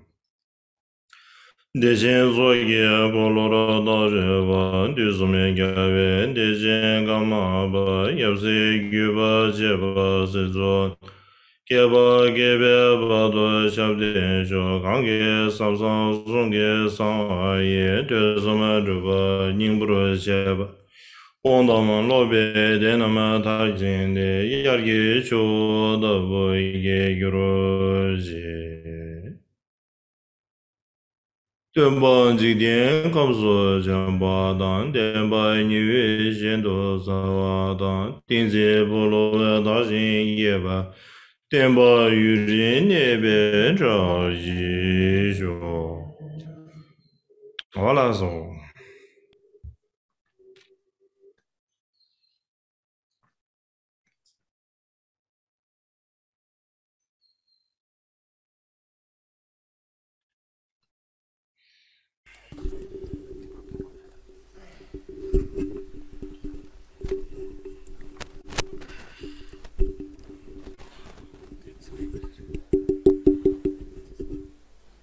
This is this is Kempo Topten of Surmang Monastery.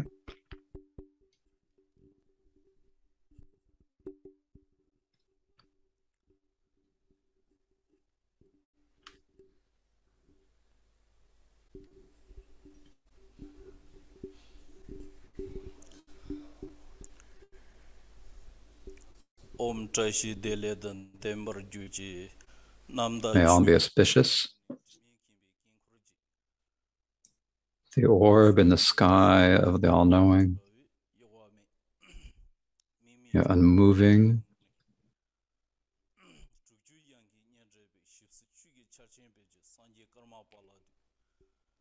I bow to the omniscient karma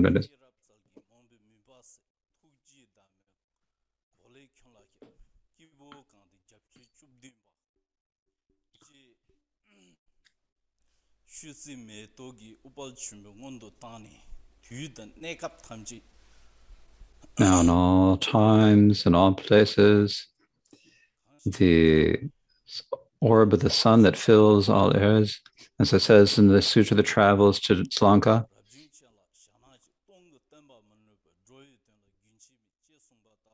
you are uh, uns- your activity to benefit sentient your ben- benefit for all sentient beings is unceasing.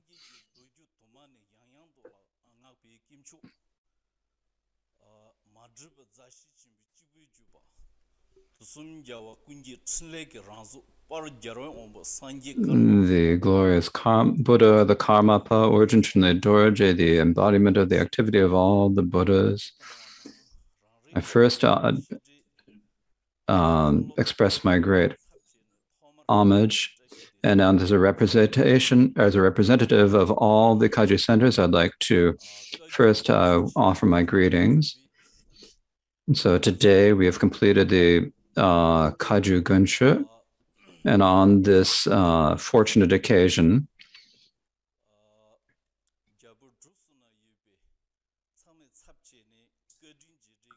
I'd like to uh, offer my thanks as representative of all the Kagyu monasteries and nunneries in Shedras in India, Nepal, and Bhutan.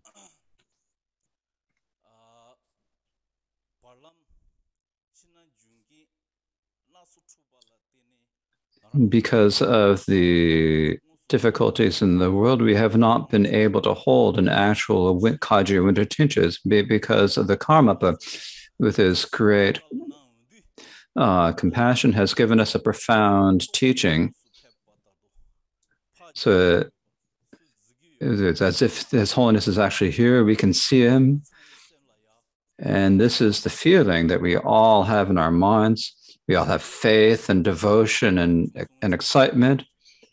Uh, this we all feel this deep in our in our hearts. Now, our teacher, the perfect Buddha, completely perfect Buddha, came to India and taught three cycles of the wheel of the Dharma. And likewise, the, the seven elders who upheld the teachers, and because of them, in India from ancient times, there was uh, there was no tradition of recording history and writing, or re- saying who was a uh, who the actors or the people who did things were, or the dates. So in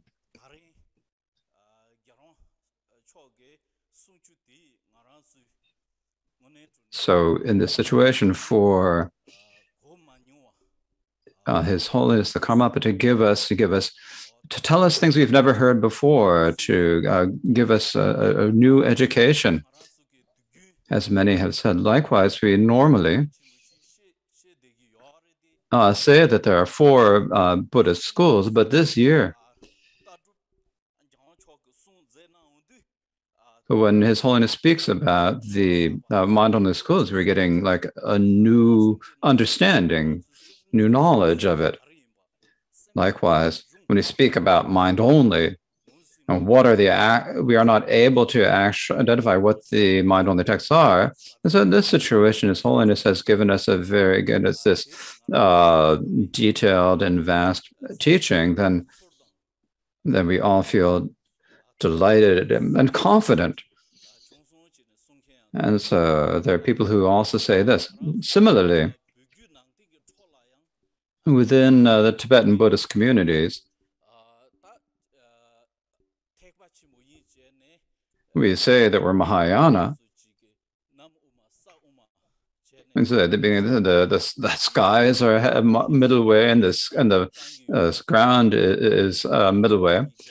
And we look down on the lower on the lower, but because with us, when His Holiness is giving such a profound uh, uh, teaching on the mind only, we see how amazing and how uh, profound the mind only view is.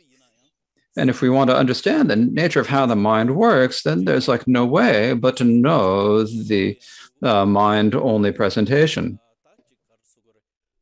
Often, what we speak about is we speak about the lower that that the lower uh, schools go outside of Nagarjuna's thought, as we often say. But this year, His Holiness has given us such a detailed presentation of the mind only view that we've never heard before.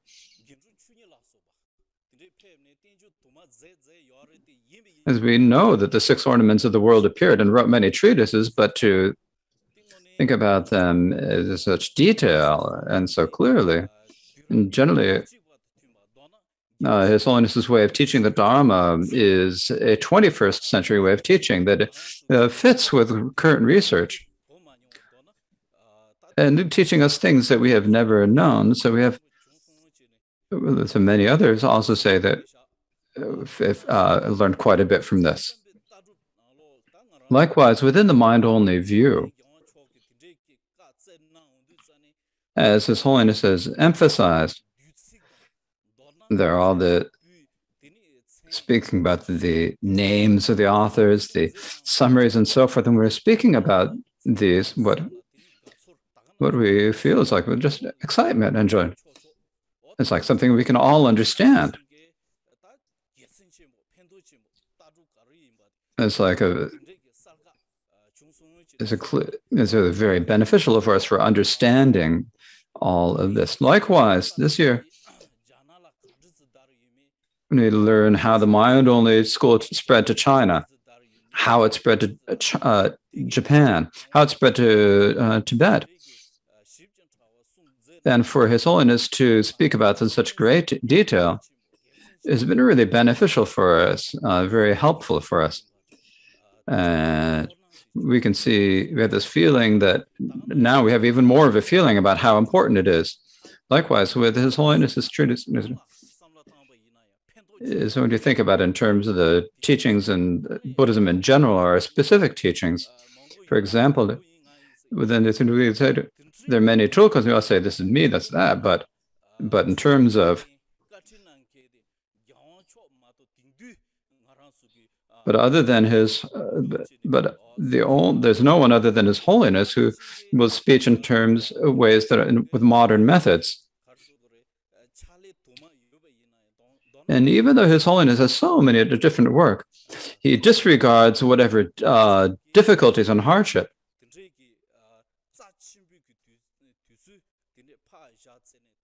giving us so much of his precious time shows uh, the great love and kind compassion he has for us in the Sangha. And so for us students, this uh, teaching has been an incredibly great fortune, a great source of merit. So many have said this as well. The, the way that His Holiness teaches uh, teaches is one that has a, shows the historical background and speaks about all of the sutras and treatises in total. And teaching about them in general, we are finding a new understanding, even if there are only a few words, so we can understand them. And we can get some excitement, we divine a new understanding of them and say, oh,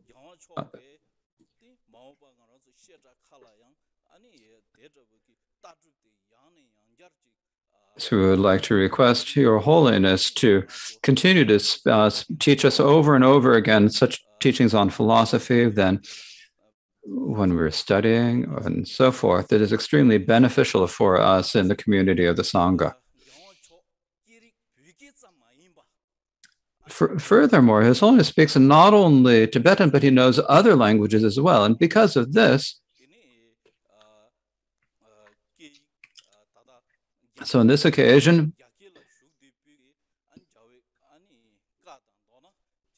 is be able to teach the words of the Buddha that are in mm, uh, Chinese. And His Holiness, if he, if Your Holiness is able to translate these into into Tibetan, I think this is going to be beneficial for all of us as well.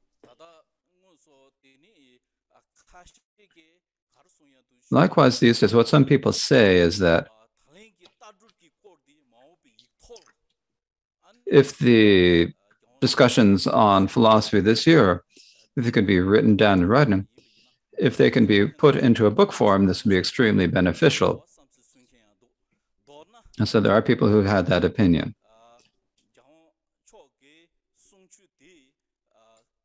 So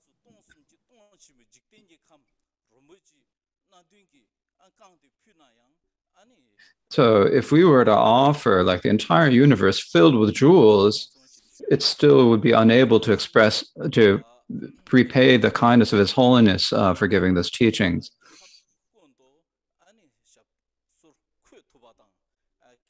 So we hope that His Holiness can quickly return to India and to uh, uh, come to the seat of Rumtek Monastery, and in particular, May the through the power of this profound teaching, uh, pacify all of the epidemics, famine, and war that all sentient beings throughout the world, world face.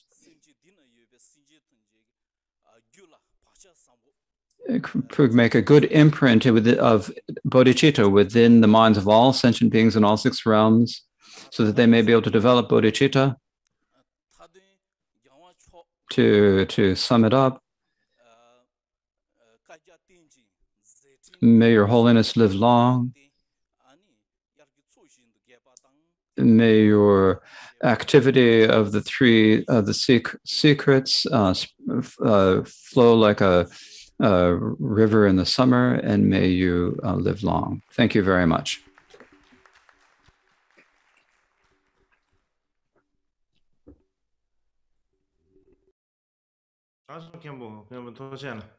Thank you very much, Kempo. Now, the particular organization organiz of, of other of the uh, the winter teachings was Surmang Monastery last year. You continue this year. So you, under the direction of Gaong Rinpoche and of all of the Kempos and all the Sangha members, I'd like to say thank you very much.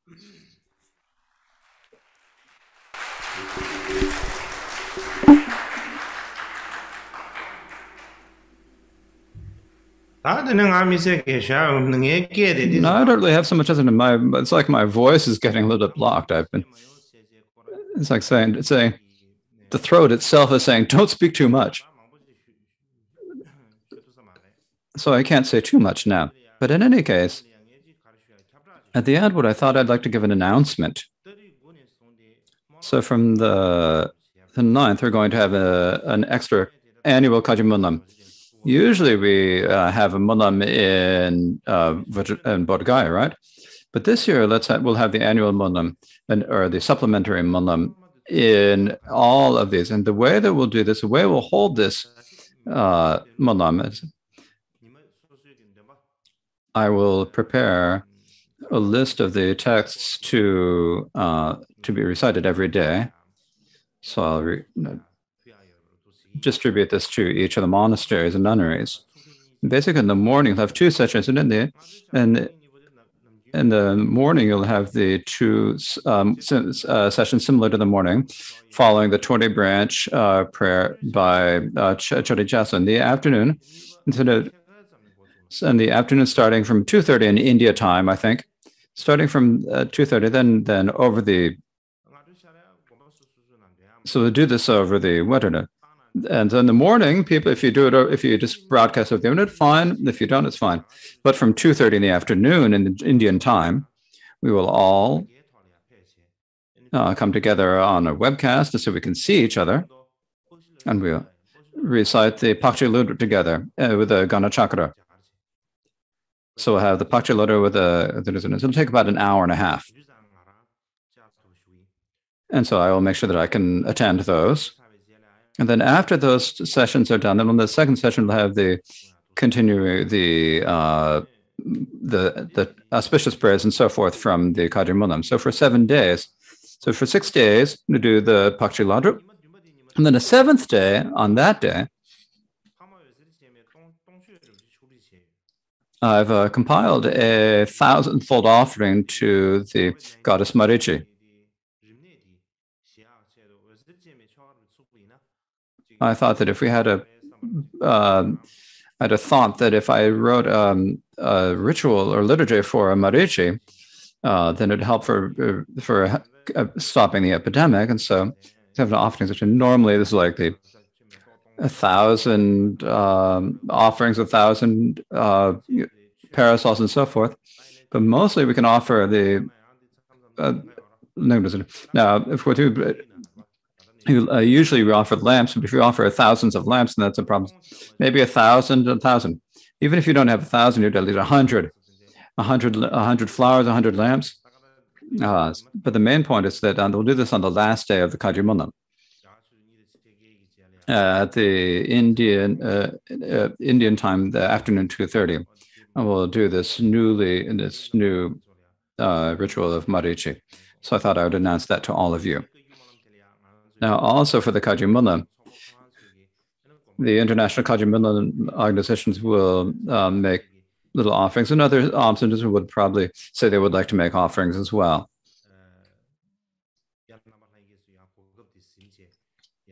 So I'd like to all, ask all of you to take this opportunity and do it. I think if you do it, uh, be beneficial for everyone.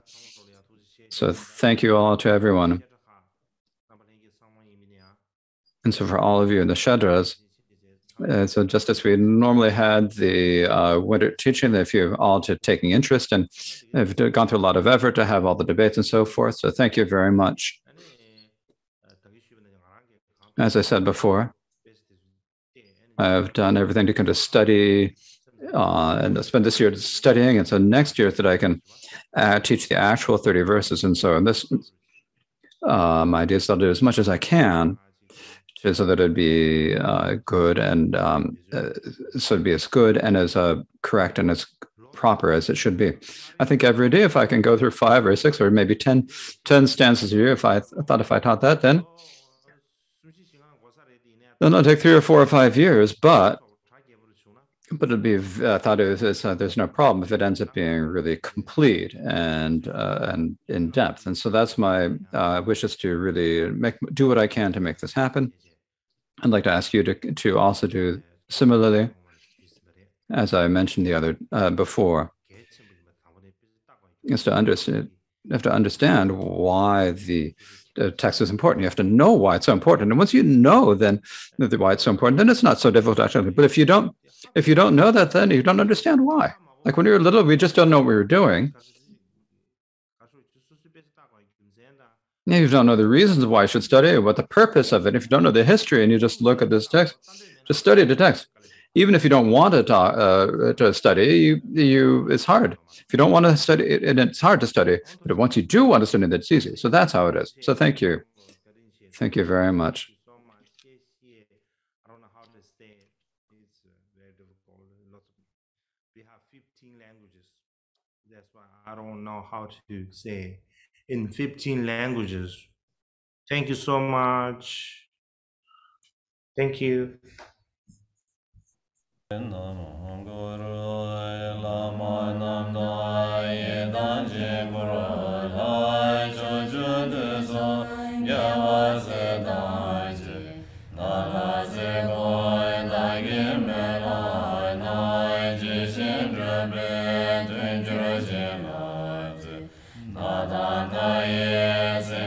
tam je je sam jur nam lai ga re le je be kor sa ya me ge sa je je na ya wa ko je ya zo jo jo je she se de ma do ba de se go je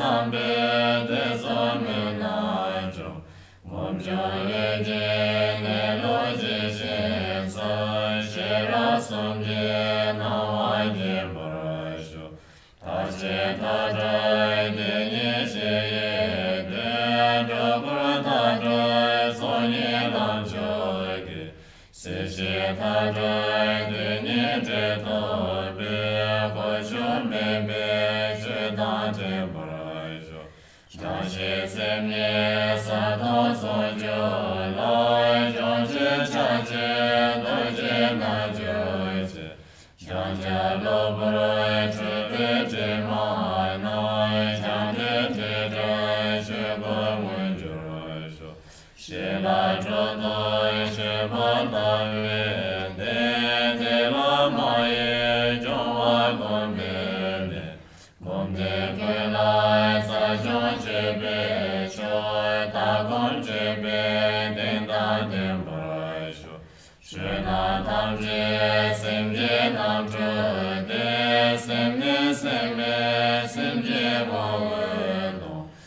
Shema